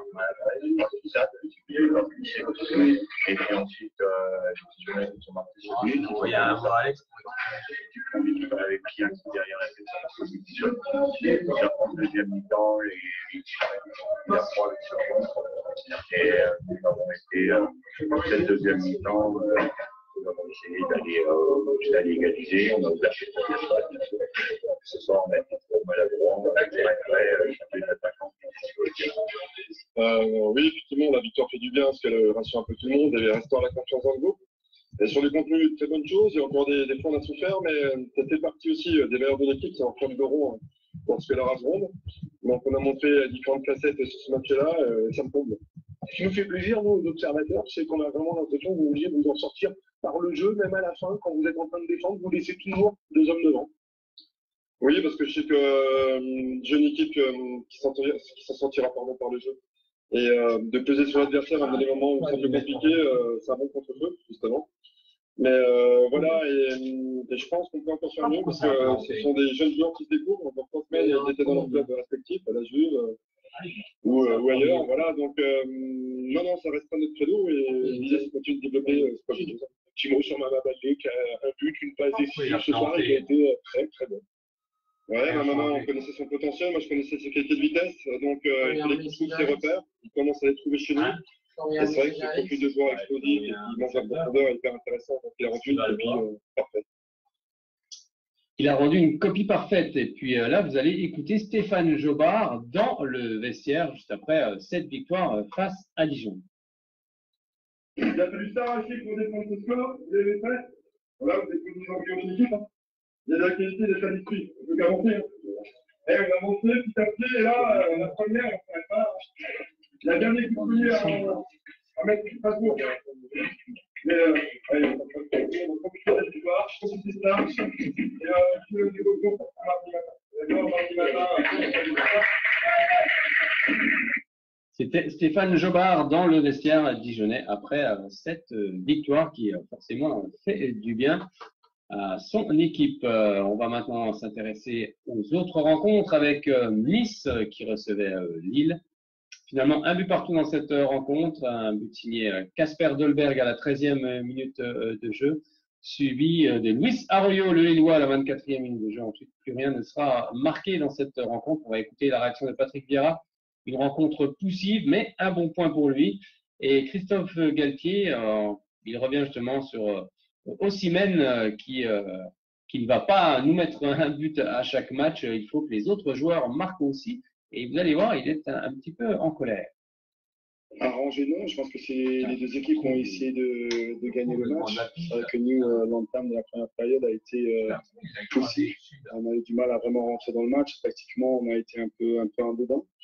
On est revenu en deuxième période avec euh, un peu mieux organisé. Ça veut dire qu'on a, on a possédé moins, moins d'espace. Mais euh, ce point de match nul euh, reste, reste quand même mérité même si euh, on aurait, on aurait voulu, voulu être un peu, jouer un peu mieux rassuré après la contre-performance contre l'AS Monaco que, ou en tout cas, euh, dans l'attitude, vous avez vu ce soir ce que vous attendiez de vos joueurs? Oui, mais euh, rassuré, euh, non, parce que j'ai jamais perdu confiance euh, à l'équipe, euh, même après la défaite de, de Monaco. l'équipe a toujours été, l'équipe a toujours été concentrée, l'équipe a toujours bien travaillé. Et aujourd'hui, contre une très belle équipe de Lille, on a réussi à prendre ce point. Euh, collectivement, on a été, euh, on a été plutôt solide et euh, je suis très satisfait euh, d'avoir pris un point. Non, mais il, il me satisfait pas. Des fois, il y a des matchs nuls qui, euh, peuvent vous satisfaire. Des fois, il y a des matchs nuls que vous arrachez heureusement, on a fait match nul. Mais là, non, je suis pas, je suis frustré. Euh, sais pas. Il y a une frontière entre la frustration et la colère. Parce que nous avons eu euh, sur la chronologie du match beaucoup de situations favorables. Nous avons été euh, pas assez déterminés, pas assez tueurs euh, devant. Et après, sur le premier ballon, un des premiers ballons qui est intercepté dans le, cœur du jeu, on est sanctionné, cette fois-ci de manière radicale par Nice. Et il faut que les autres prennent aussi des relais. On ne peut pas attendre de Victor qui va nous marquer un but par match. Ou, voilà, et, euh, et de ce côté-là, je suis euh, méchant en colère. Très clairement, ce genre de match, la saison passée, vous le gagnez, selon vous. Non, à la même époque, on avait perdu à Bordeaux. Donc, on s'est un peu amélioré. Voilà, pour avoir un peu le sourire. Pour avoir un petit peu euh, le sourire, c'est ce que justement dit euh, Christophe Galtier. On va maintenant s'intéresser aux autres rencontres avec Angers qui recevait Amiens. Un but partout euh, dans cette euh, rencontre, avec euh, tout d'abord l'ouverture du score pour cette équipe de Amiens par Steven Mendoza à la 13e minute de jeu. Et c'est en fin de partie que Angers va revenir dans cette rencontre, car grâce à Rachid Alioui à la 83e minute de jeu, l'ancien Nîmois. Ça fait un but partout. On va écouter les réactions cette fois-ci de Stéphane Moulin, qui dit que son équipe a, tout tenté ce soir, il n'a rien à lui euh, reprocher. Et on n'a pas la réaction, on n'a aucune réaction du côté euh, d'Amiens, donc on va écouter euh, Stéphane euh, Moulin. Le troisième, c'est souvent le plus dur. Euh, et j'ai l'impression que c'est plus difficile les trois matchs de, de la semaine pour, pour, pour Angesco ce soir. Ouais, mais parce qu'on n'a pas très bien démarré. Euh, à l'image du match qu'on a fait contre Saint-Etienne, on n'a pas très bien démarré et on a eu du mal à sortir de ce faux rythme. En plus, on a encaissé un but, donc on, on se retrouve à faire une course poursuite avec évidemment euh, moins d'énergie. Euh, même si en seconde période, j'ai aimé la réaction de l'équipe, on a tout tenté. On est passé euh, en 4-4-2 à la fin, on a sorti les latéraux parce que il y en a un qui était prêt de prendre un rouge et l'autre euh, qui avait des crampes. Donc on s'est retrouvé dans une configuration un peu particulière, mais j'ai aimé l'état d'esprit. Les joueurs ont montré qu'ils lâchaient rien, qu'ils avaient envie de revenir. On est revenu pour moi logiquement. On a frappé 22 fois au but mercredi, 23 ce soir. Donc ça veut dire qu'il se passe des choses. En tout cas, euh, le seul petit euh, regret que j'ai ce soir, c'est qu'on a réussi à, rentrer, euh, je dirais, assez facilement dans leurs 16 mètres. Et on a eu du mal à trouver un partenaire pour remplir ces actions-là, alors qu'elles étaient bien enclenchées, ou individuellement ou collectivement. Voilà, c'est le petit regret que j'ai. Pour le reste, je, leur ai dit aux garçons, c'est pas parce qu'on gagne pas qu'ils méritent pas d'être félicités, parce que revenir, c'est déjà, c'était déjà beaucoup compte tenu de, de ce que nous a proposé l'équipe d'Amiens. C'était Stéphane Moulin. On va passer à une autre rencontre, c'est l'AS Monaco. Monaco euh, qui est mal en point euh, cette, saison, mais euh, qui va réaliser le carton de cette journée en battant Brest 4 buts à 1. Début de signé euh, euh, Wissam Ben à la 26e minute de jeu, ensuite Slimani 62e sur penalty. Gelson Martin 73e et réduction du score pour Brest de Mendy 77e et c'est finalement Keta Baldé 90e qui clôt euh, ce succès assez large de cette équipe euh, de euh, Monaco. On va écouter euh, la réaction de Leonardo Jardim qui lui a vu un très bon Monaco euh, ce soir et Olivier euh, Dalloglio. Bon, en fait, euh, il, indique simplement que son équipe a manqué euh, de tout. Coach, c'était du, très bon Monaco ce soir Oui, euh, je pense qu'on fait un très bon match. Mi-temps, les premières 30 minutes, euh, nous arrivés à 4, 5, 6 euh, bonnes opportunités. Euh, malheureusement, on fait seulement un but. On n'est pas resté très efficace. Après un peu d'équilibre. Deuxième mi-temps, nous avons continué à attaquer, à chercher faire des buts, à chercher à jouer euh, le ballon, contrôler les matchs, contrôler la position avancée. Et je pense que le résultat, c'est très justifié. Ouais, la saison, on a déjà démontré beaucoup de points, tout le monde sait bien. Euh, je jouais, euh, nous arrive déjà à enchaîner le, le match complètement. On a donné notre solution. Nous sommes capables de, faire euh, déjà jouer notre meilleur joueur. Et c'est comme ça, l'équipe vient grandir. Euh, c'est presque un mois que l'équipe est simple. cette équipe. Et je pense qu'elle a d'espace euh, pour, pour continuer à progresser. Bref, globalement, était assez loin de Monaco ce soir. Oui, oui, tout à fait. ouais. On a manqué d'abord de, solidité. On est mal rentré dans, le match. On les a trop regardés. Donc, euh, on leur a donné confiance parce qu'il n'y avait pas besoin de ça. Puis, euh, c'est un peu plus repris euh, après, après avoir encaissé un but, malheureusement. Mais il aurait fallu beaucoup plus que, ça dans, la conservation, dans la profondeur. Il manquait un peu de, un peu de tout, en fait, ce soir. Il manquait euh, de tout pour euh, l'équipe d'Olivier Dalloglio. On va s'intéresser euh, cette fois-ci aux rencontres, à la dernière rencontre de ce samedi avec Metz qui recevait Toulouse. Et finalement, deux buts partout dans cette rencontre. Avec tout d'abord Diallo qui marque dès la quatrième minute de jeu. Ensuite, c'est Wesley Saïd 86e, Nian 90e et ça fait deux buts partout entre les deux équipes avec euh, tout de suite la réaction de Vincent Ognon. Il est un petit peu en colère contre euh, l'arbitrage, vous allez l'écouter, et il dit que son équipe fait encore une erreur. Et Alain Casanova, euh, pour lui, c'est un bon point vu la physionomie de cette rencontre. On n'a pris qu'un point. On a perdu deux, on sait pourquoi. On sait pourquoi sur la dernière action, on sait ce qui s'est passé. Il y a frappe, il y a tout le stade qui voit qu'il y a corner, mais non. Voilà, une grosse erreur. Mais nous, derrière, on encaisse, voilà, et on perd deux points. Et forcément, on est un, peu en colère parce que les joueurs ont fait beaucoup d'efforts, énormément d'efforts même parce que euh, c'est le troisième match de la semaine. On a eu ce soir euh, bah, beaucoup de choses contre nous, voilà, avec les, deux blessures, des changements précoces. Donc, euh, dans le troisième match de la semaine, faire des changements aussi précoces, ça nous a un peu pénalisé en, deuxième période. On n'a pas pu euh, voilà, lancer le troisième changement assez tôt ou en faire euh, voilà, en, deuxième période pour, pour apporter un, un peu de fraîcheur et réussir à tenir un peu plus le ballon parce que Toulouse a poussé et plutôt bien poussé, mais, mais on a lutté avec, euh, avec beaucoup de qualité et ils reviennent et on arrive à remarquer. Et derrière, non, je, je suis, je suis énervé, de, très très énervé de ça. Depuis que je joue au foot, qu'on apprenne quoi la Ligue 1, qu'on soit en Ligue 1 depuis longtemps, il, y a, régulièrement des buts dans les arrêts de jeu et nous on a marqué aussi dans les arrêts de jeu. Donc c'est la même chose pour l'autre équipe en face qui apprend plus la Ligue 1. Donc euh, c'est c'est une erreur qu'on doit corriger, mais on sait pourquoi cette erreur est arrivée, ce but est arrivé, c'est au départ notre erreur. J'ai la, la force de caractère de l'équipe qui euh, hum, a montré une grande union dans tout ce qu'elle a fait, elle a montré de la qualité dans, le jeu. Euh, on reviendra si vous voulez sur ce qui m'a pas plu et, et je pense que ce qui m'a pas plu, euh, on, on a failli payer très cher parce que euh, il a fallu courir après le score, mais euh, l'équipe elle s'est jamais désunie dans le jeu, elle a montré beaucoup de choses, elle s'est créé des occasions en première mi-temps, deuxième mi-temps. Euh, elle a su revenir euh, un partout. Euh, elle, a, subi un penalty, un penalty sûrement euh, difficile à admettre, mais sûrement qu'il y avait penalty puisque la VAR l'a confirmé. Et ensuite, elle a eu la force de caractère pour euh, revenir à 2 à 2 et prendre un point. Et je pense que c'était un minimum sur, la physio- physionomie du match. C'était donc un point, bon point pour Alain Casanova. On va passer aux rencontres qui avaient lieu ce dimanche avec tout d'abord Strasbourg qui recevait Montpellier. 1 à 0 euh, pour euh, les Strasbourgeois. Un but euh, signé à Jorque à la 25e minute de jeu. Ça suffira au bonheur des hommes de Thierry Loré. Thierry Loré qu'on va écouter. Il dit simplement en fin de match, mon équipe n'avait plus de kérosène, donc il n'avait plus de jus. Et Michel Derzakarian revient sur le fait que son équipe, vraiment à l'extérieur, eh bien, elle n'y arrive pas.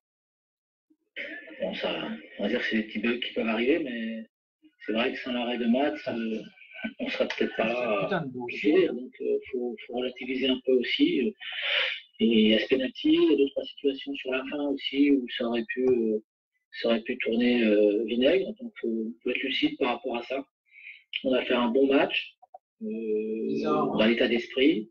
Euh, première mi-temps, collectivement, c'était plutôt bien. On a, ré- on a réussi à aller les chercher assez haut, ce qu'on voulait faire pour les empêcher de jouer. C'était plutôt pas mal. Après, euh, forcément, euh, en ce moment, je vous l'avais dit hier, euh, je voulais qu'on retrouve de la langue. Et pour euh, trouver de la langue, il faut, avoir- un peu de kérosène. Donc, euh, et on a manqué un peu de kérosène sur la fin. Voilà, c'est tout simplement.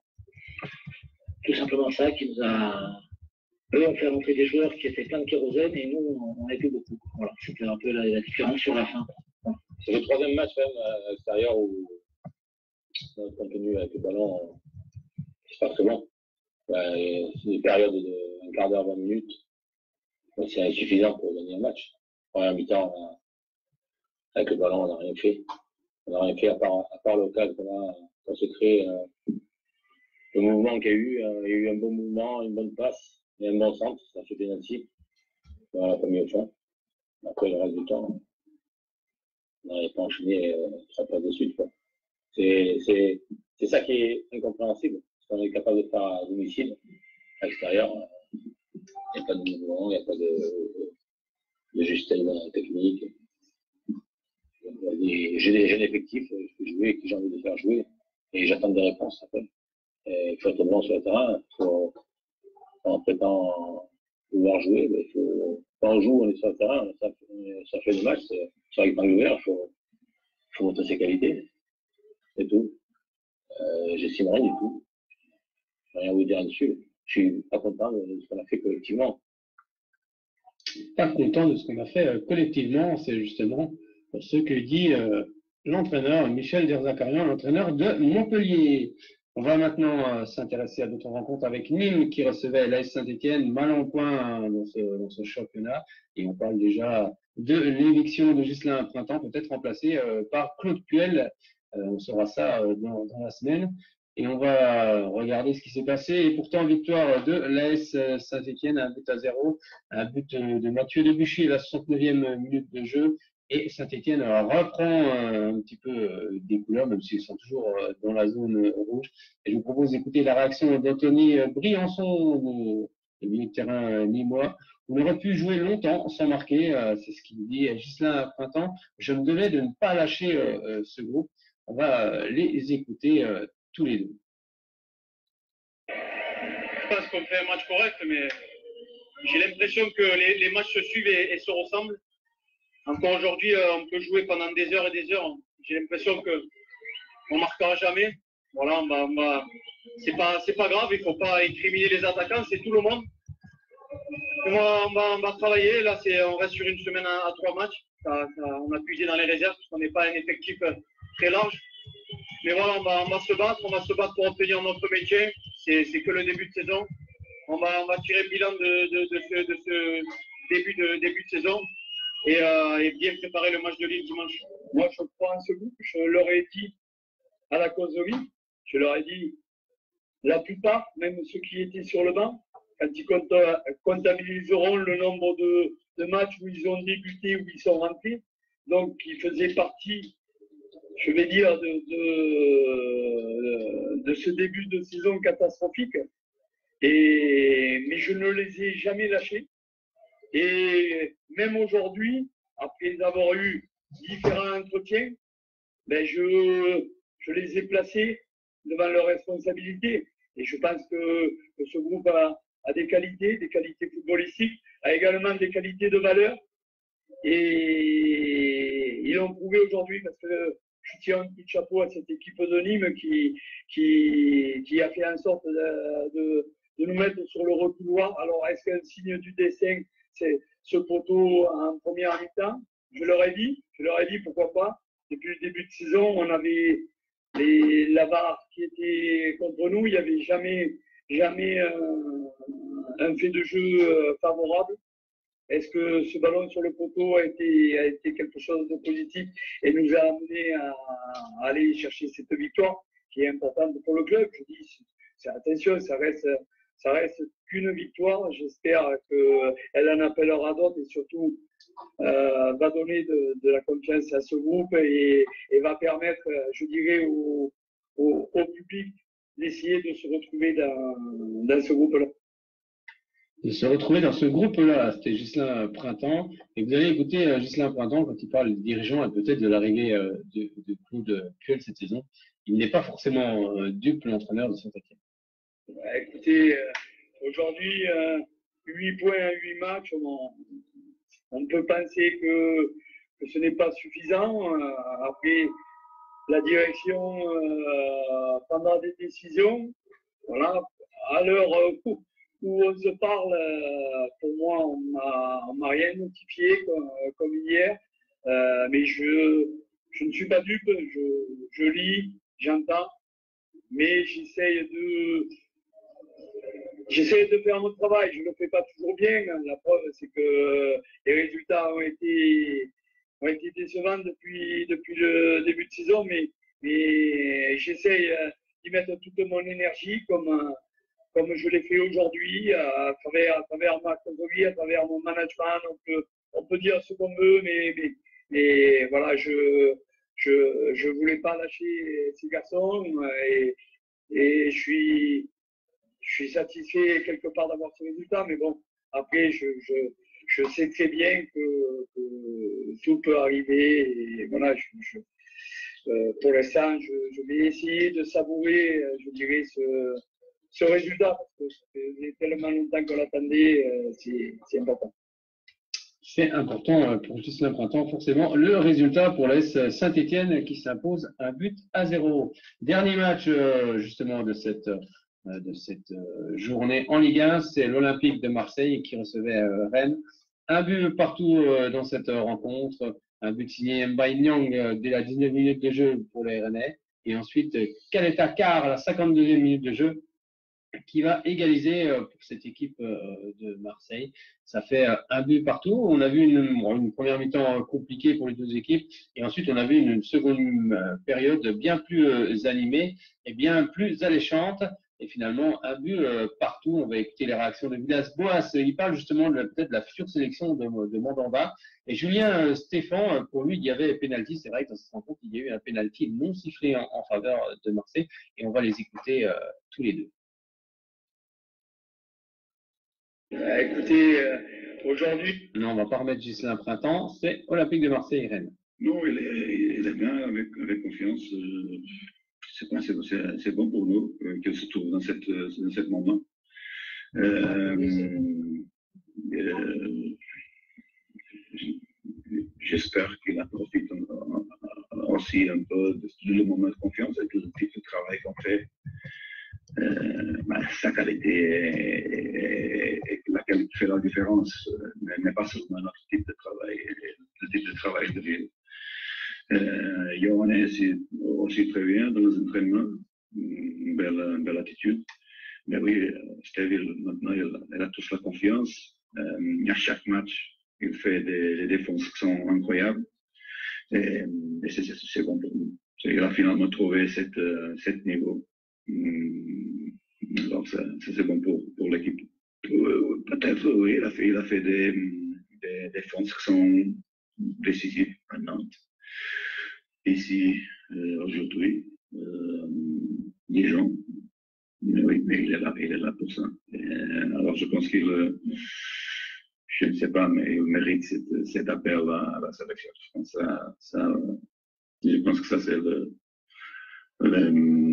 l'objectif final quand tu es à cette de, de niveau. Euh, voilà, ensuite, en, deuxième mi-temps, on se doutait bien que les Marseillais allaient réagir. Euh, bon, je regrette qu'avant le, le, corner, il y a une faute sur Amari euh, Traoré qui n'est pas sifflée. Nous, c'est regrettable parce que les conséquences sont, importantes. Et malgré ce coup du sort, et avec, il est vrai, un, un Olympique de Marseille qui a aussi davantage pesé sur la rencontre en seconde période, on a quand même eu, nous aussi, des opportunités. Je pense à ce, cette double occasion d'Adrien Hunou, mais, mais, superbement arrêté par par Mandanda. Je pense aussi au, contre de Flavien T, deux contre deux à jouer, ou, le, défenseur contre au, dernier moment.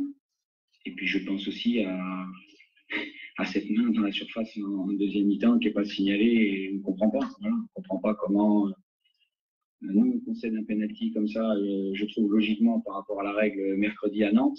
Et là, une main qui est décollée, qui a intentionnalité ou pas, il y a, il y a penalty il y avait pénalty pour Julien Stéphan et vous allez voir que le président de, de Rennes, Olivier Létang, est lui aussi en colère, que ce soit M. Schneider qui ait arbitré euh, cette rencontre. Écoutez-le.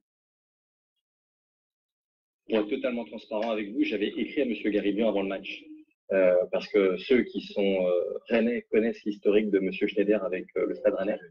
Et donc j'ai trouvé, euh, moi, assez surprenant que pour un match comme celui-là, au stade Vélodrome, euh, que M. Schneider soit l'arbitre de la rencontre.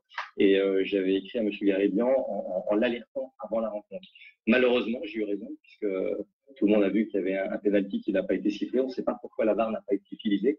Donc, de nouveau, euh, encore une fois, pour faire avancer le débat, j'invite M. Garibian à venir nous expliquer et surtout à venir expliquer aux acteurs, parce que aujourd'hui, c'est un cafarnaum et, et, plus personne ne comprend absolument plus rien. C'est pas notre rôle de récuser, mais encore une fois, vous, ferez, euh, euh, les, recherches nécessaires, mais il y a un historique et, pourquoi M. Schneider n'avait pas arbitré Rennais depuis euh, octobre 2017. Vous verrez que les deux dernières rencontres qui ont été arbitrées, bah, il, y a, des choses assez troublantes. Et puis, il y a eu euh, également euh, un procès, donc euh, je suis pas certain que M. Schneider était complètement libre d'avoir une, appréciation qui était totalement correcte. Encore une fois, c'est pour ça que j'avais posé la question à M. Garibien. Pas? Du tout. Monsieur Garibien n'avait pas répondu pour Olivier Létang. Eh bien, on va encore des petits euh, Larsen, je ne sais pas trop pourquoi, bon, des petits soucis euh, avec la table de mixage en ce moment. Euh, donc, on va regarder tout de suite le classement de cette Ligue 1 et ensuite on verra la page Ligue 1 un petit peu à la bourre ce soir. On en est désolé. Mais on a eu justement l'ex-attaquant du Chaudière, Fadeva Andriatsima dans la partie Ligue 1. Et on va maintenant s'intéresser au classement avec le Paris Saint-Germain en tête avec 18 points, suivi d'Angers avec 16 points. Nantes est troisième avec 16 points, quatrième Lille avec 14 points. Brest, Saint-Etienne et Dijon ferment la marche. Les deux premières équipes ont 8 points et Dijon à 5 points. Prochaine journée, ce sera la neuvième journée ce vendredi 4 octobre avec Amiens qui recevra Marseille à 20h45. Le samedi et 5 octobre poursuite cette neuvième journée avec à 17h30 le premier qui reçoit le deuxième, c'est-à-dire le PSG qui reçoit Angers à partir de 20h, Montpellier-Monaco, Toulouse-Bordeaux, Nantes-Nice, Dijon-Strasbourg, Brest-Metz. Dimanche 6 octobre, euh, poursuite et fin de cette neuvième journée avec à 15h Lille-Nîmes, à 17h Rennes-Reims, pardon. Et à partir de 21h, le derby entre deux équipes qui ne vont pas très bien pour le moment, Saint-Etienne qui recevra l'Olympique euh, lyonnais. Eh bien, on va refermer euh, cette page Ligue 1 et puis on va ouvrir, bien évidemment, la page Ligue 2.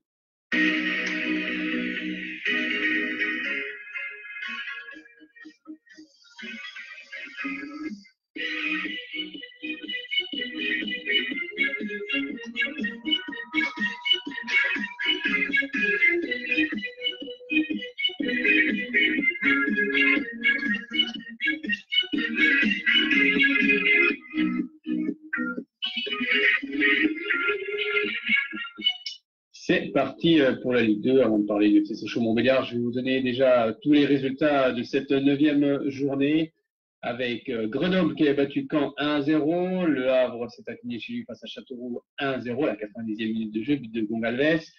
Clermont Foot euh, et Nancy, deux buts partout. Orléans est allé s'imposer du côté de 3, 2 buts à 1. Niort et Auxerre, deux buts partout. Lorient a battu, était allé battre Chambly 1-0.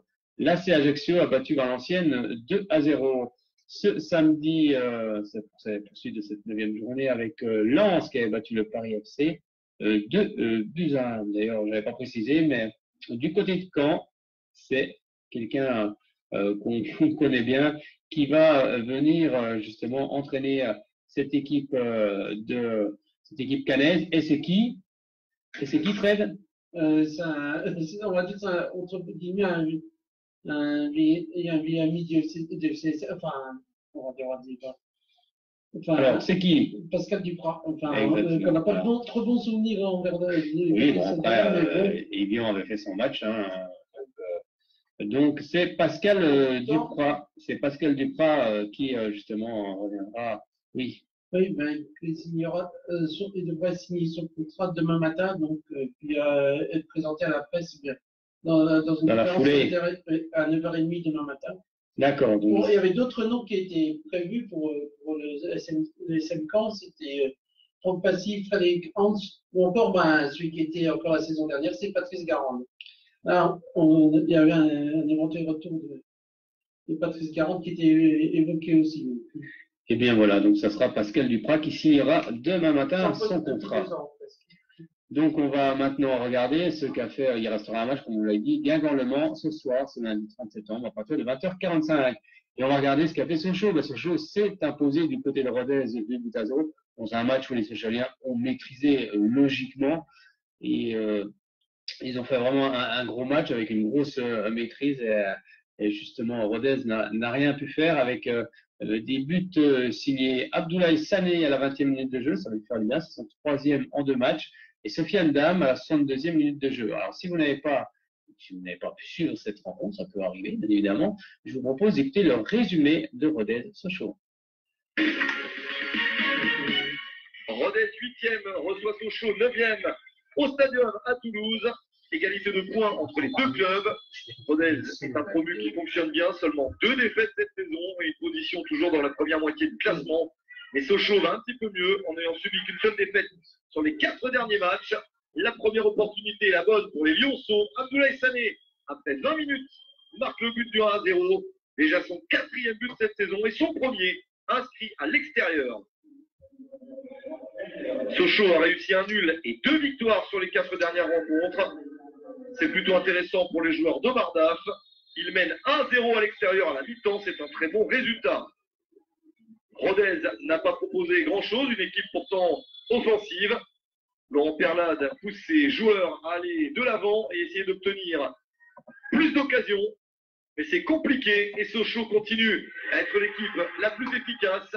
Le corner victorieux à la 63e minute, c'est la reprise de Sofiane Dame à bout portant. Premier but de la saison pour Dame. Arthur Desmas, le gardien de but de Rodez, ne peut rien faire.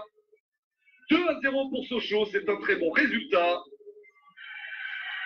Sochaux qui continue à avoir les meilleures chances. La confiance est clairement de retour à Sochaux après une saison dernière très compliquée. Le poteau pour empêcher ce but supplémentaire d'Abdoulaye Sané, le doublé tout proche. Rodez réussit enfin à être dangereux avec cette tête en retrait, le tir à bout portant, sauvé par Maxence Prévost, le gardien et capitaine de Sochaux. Une bonne possibilité enfin pour les Ruténois. Mais c'est toujours insuffisant. Une chance de plus ici avec une reprise de la tête encore une fois sauvée par un excellent Maxence Prévost. Personne ne parvient à marquer de but pour Rodez dans ce match. Victoire de Sochaux 2 à 0 contre Rodez. Sochaux euh, 2-0, c'est une belle performance des hommes euh, justement euh, de Mardaf et je vous propose d'écouter aussi dans le vestiaire le cri de joie euh, des Sochaliens. Vous allez voir, on ne s'en lasse pas et puis on aimerait bien avoir ça toutes les semaines, mais bon, on espère.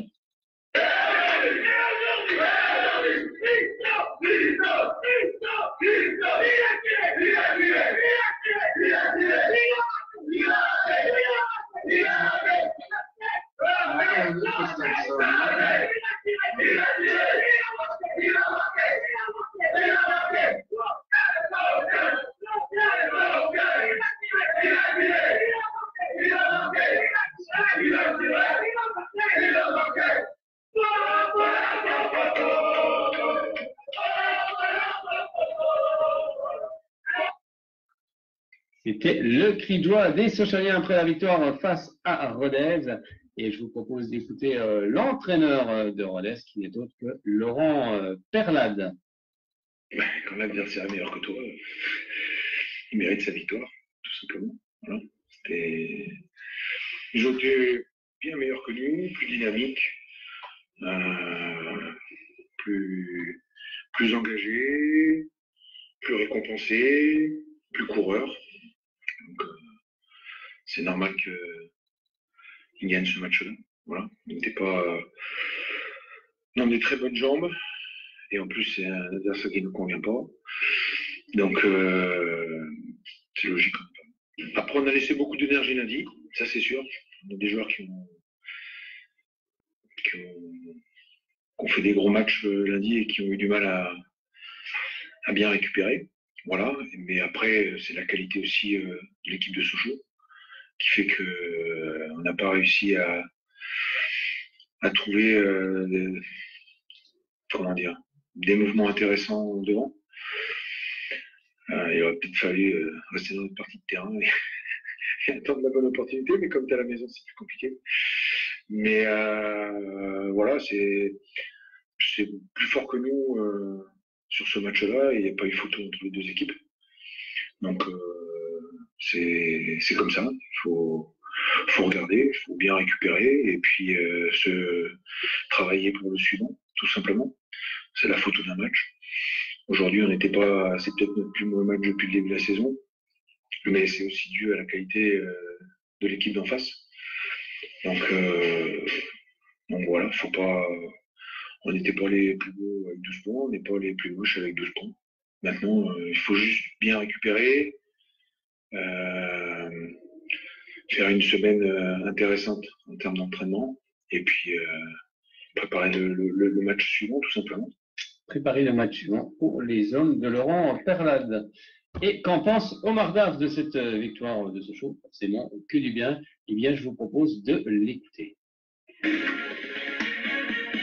Je trouve que c'est une, euh, belle victoire qu'on a construit euh, avec beaucoup de, beaucoup de sérénité.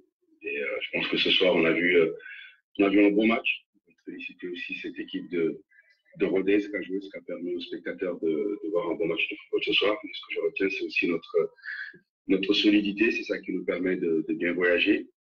Et en tout cas, quand on est capable de, produire du jeu comme ça et se procurer autant d'occasions à, l'extérieur, c'est une victoire qui est amplement méritée ce soir. Bon, on s'attendait à un match très difficile. Très difficile vu le, vu le début de saison de cette équipe de, de Rodez. On s'est bien préparé, on a, bien étudié notre adversaire. Je pense qu'on les a respectés. C'est ce qui nous a permis de, rentrer tout de suite fort dans ce match. Aujourd'hui, c'est un, match de référence pour mes, pour mes joueurs. Montrer qu'on est capable aussi d'aller chercher les points en dehors de, de bon âge. Je c'est de bon augure pour, la suite. C'est de bon augure pour la suite. Et la suite, ce sera ce vendredi à 20h. L'équipe de show recevra euh, Clermont. Mais avant ça, je vous propose d'écouter la réaction de Sofiane Dam, le deuxième buteur de cette équipe sochalienne, et du défenseur central, Adolphe Tequieux. On se devait de, de prendre des, des, on est. À domicile, on sait qu'on était costaud.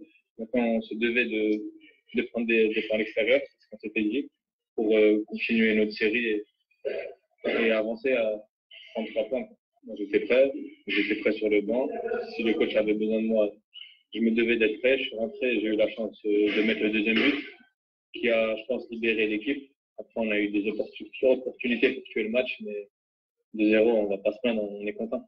On sait que lorsqu'on on est un bloc euh, compact, c'est dur à, à nous faire tourner. On est bien en place, les lignes sont bien serrées, mais lorsque on récupère le ballon, on peut faire mal à, à n'importe quelle équipe, à l'extérieur, à domicile. Donc euh, c'est notre plan de jeu et il faut continuer comme ça. Je pense surtout que ça fait vraiment plaisir de, voir comment tout le monde se défend sur le stade. Ça, fait plaisir de, de jouer, de voir une groupe solidaire. C'est vraiment plaisant de, jouer. Et surtout, après cette victoire à l'extérieur, le groupe se, se encore plus. J'espère qu'on ira encore chercher plein, de points à l'extérieur. La victoire, c'est la victoire du groupe. On a vu un groupe qui, fait des efforts ensemble, qui souffre ensemble et qui savoure ses victoires ensemble. L'idée pour le moment, c'est d'abord de récupérer. Et on a toute une semaine pour préparer le match contre Clermont parce que avant la trêve, il va falloir qu'on aille à la trêve avec euh, des, bons sentiments. Donc, euh, on fera tout et on donnera tout pour remporter le match contre Clermont. Le match contre Clermont, bien oui, ce sera ce vendredi euh, du côté du stade Bonal à partir de 20h. Alors attention à cette équipe de Clermont quand même, hein, parce que Clermont s'est imposé à 3, 2 buts à 1. Clermont s'est imposé à Orléans 1 à 0. Euh, Clermont euh, a fait match nul du côté du RC Lens, euh, du but partout. Clermont s'est incliné à Valenciennes, c'est vrai. Et Clermont s'est imposé du côté du Paris FC euh, 2 à 0. Donc beaucoup de victoires à l'extérieur pour cette équipe de, Clermont. Donc elle voyage, elle voyage bien. Donc il faudra quand même faire attention à, à ce- à cette équipe. Mais Sochaux à domicile a aussi beaucoup de qualités à faire valoir. Donc ça promet d'être une belle affiche euh, du côté euh, du Stade Bonal. On va, on va retrouver euh, des joueurs forcément euh, qu'on connaît un petit peu avec Florent Augier, euh, qui est pour le moment à neuf matchs et, un but euh, cette, cette saison. Il y aura aussi euh, des joueurs à surveiller dans cette, dans cette équipe euh, euh, de, de Clermont. Donc, euh, il faudra faire attention à tout ce qui, à toute cette équipe car elle fait euh, de, de belles saisons et, et il faudra faire attention aussi à Grebic euh, qui lui en est à 7 buts. Euh, C'est euh, le buteur du côté de cette équipe de Clermont. Donc, bah, Sochaux, est prévenu. De toute façon, Sochaux n'a peur de personne du côté du stade Bonal où les Sochaliens ne se sont pas, pas inclinés du côté de, Sochaux pour le moment. Donc, il faudra faire attention. Qu'est-ce que tu en penses, Fred, justement, de cette équipe de Clermont Non, mais oui, il faut faire attention. Il on va faire attention à cette équipe Clermontoise, à cette équipe auvergnate. Mais bon, c'est- après, ils peuvent être prenables après. Et oui, puis ce show n'a pas perdu à domicile, hein, ce show. Ah non, ils n'ont pas. Et non. Continuent euh, à rester à, à, à vaincu à domicile, c'est ça qui est bien en plus. Oui, oui, la seule défaite pour Sochaux, c'est en Coupe de la Ligue, enfin à Lorient déjà 1 à 0, euh, et contre, contre le Monde 2 à 0, mais à domicile, à domicile, c'est 0-0 contre Caen, c'est 1-0 contre Auxerre, et c'est également 3-0 contre l'AS Nancy-Lorraine, on s'en rappelle bien, 0-0 contre Valenciennes, 3-1 contre, contre Guingamp, donc euh, Bonal est en train de redevenir la forteresse. gagné à, à Bonal déjà. Exactement, oui, trois matchs gagnés à Bonal, donc ça devient euh, la, forteresse de Bonal, surtout avec un Abdoulaye Sané qui a repris confiance, trois buts en deux matchs, donc ça c'est euh, tout de même une, belle chose. Donc on espère, euh, on espère que ça va continuer, on espère aussi qu'il y aura du monde au, stade, on espère qu'il y aura du, monde au stade Bonal ce vendredi pour suivre nos jaunes et bleus. Eh bien, moi, je vous propose de découvrir un petit reportage. C'était chez nos confrères de Beansport sur quelqu'un qui est très important aussi au club. Eh bien, c'est l'intendant Freddy Van de Kerkhoff, euh, qui, euh, euh, comme tout le monde le sait, est une personne importante au, club et quelqu'un qui a des vraies valeurs et qu'on apprécie beaucoup. D'ailleurs, on, le salue. Et Beansport a dû faire un très beau reportage. Et je vous propose d'écouter un petit peu son, quotidien, comment il prépare les matchs, comment il les vit également. Je pense qu'on les vit tous un petit peu de la, même, manière, mais lui, il les vit vraiment de l'intérieur parce qu'il est là aussi pour préparer des affaires euh, des joueurs. Et vous allez justement euh, eh bien, apprendre euh, et surtout savoir ce que fait Freddy Van de Kerkhoff avant les matchs, après, après les matchs et aussi pendant les matchs. C'est une histoire de jeunesse, de proximité, c'est le club de toujours. C'est mon club, mon club de rêve, mon club de voilà, mon club d'enfance. Ce club génère beaucoup de choses, beaucoup de valeurs qui, qui me sont chères. L'humilité, la rigueur, c'est ce qu'on prône toujours ici. Qu'on puisse donner le maximum de soi-même. Dans son club, c'est voilà, c'est- quelque chose de beau. Dans le football, les plus belles histoires ne s'écrivent pas toujours sur le terrain. Freddy Van de Kerkhoff est depuis 21 ans le coordinateur sportif du FC Sochaux. Travailler au club a toujours été une évidence pour lui. tout petit, j'avais déjà la passion du club. Mon papa travaillait chez Peugeot. Et une fois, il y avait euh, la fête euh, du CE Peugeot. Il y avait un chapiteau là-bas avec du cirque, des jongleurs, etc. Et moi, je me suis échappé du, chapiteau et je suis venu ici à pied. Je suis venu sur l'ancien stade Bonal et j'étais tout seul. Et mes parents ne savaient pas où j'étais. En fait, j'étais déjà tout seul sur ce stade à m'imaginer joueur ici. Sa carrière, c'est en dehors du terrain qu'il va la construire. Ici, c'est l'homme à tout faire. Du flocage à la réservation euh, du train, à la réservation de l'hôtel. Après, tu vas sur le terrain, euh, tu t'occupes euh, des ballons. Ensuite, après, tu repars. A un autre joueur qui te demande autre chose. Enfin voilà, c'est très varié et, et tu balais très vite des sujets. Bon, les zig 900 et quelques balles, c'est trop cher. hein. C'est une personne à qui je dois beaucoup, car il est tous les jours souriant, tous les jours à l'écoute, tous les jours il me donne des conseils et je le remercierai toujours pour ça. Des personnes qui vous guident, qui vous aident, qui sont tout le temps gentilles avec vous, souriantes, et c'est vraiment très très important au quotidien.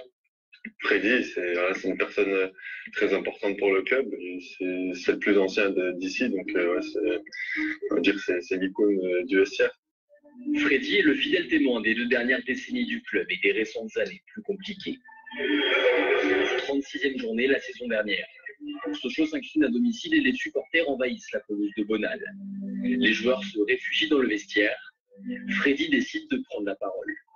Je vois tous mes joueurs ici même euh, tous abattus, la tête dans les chaussures. Euh, voilà, je sens qu'ils sont, ils sont vraiment touchés, impactés.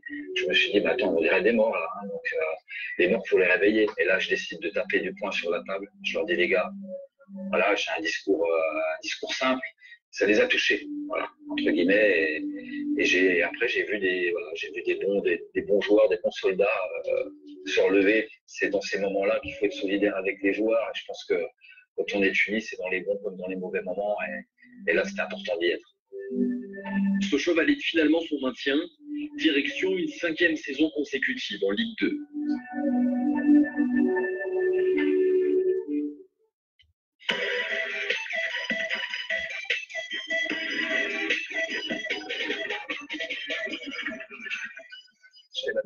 Du vestiaire, de façon à ce que tout soit bien préparé quand ils arrivent, qu'ils aient juste à penser à leur match. On peut voir que nous, on tourne à la compote. hein. Son match commence plus de 4 heures avant le coup d'envoi. Aucun détail n'est laissé au hasard. Donc ici, c'est tout bon. C'est parfait. On peut aller voir le terrain, la pause. Bien, bien. Ce soir, il vivra le 930e match de sa carrière. On est toujours stressé un petit peu euh, par rapport au résultat qui va, qui, va, qui va être entériné. Donc c'est vrai qu'il y a toujours un peu une part de stress, un petit peu de. Voilà. Mais je vais faire le match en plein.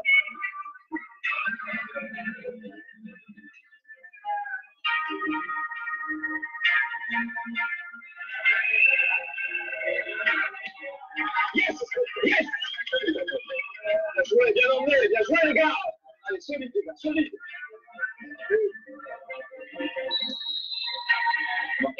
bien emmené, avec du mouvement. Donc euh, on va se contenter du point, mais voilà, il faut savoir pas perdre et voilà, donc c'est très bien. On est content, satisfait du. Et je victoire. Ce sourire, il symbolise toute sa passion.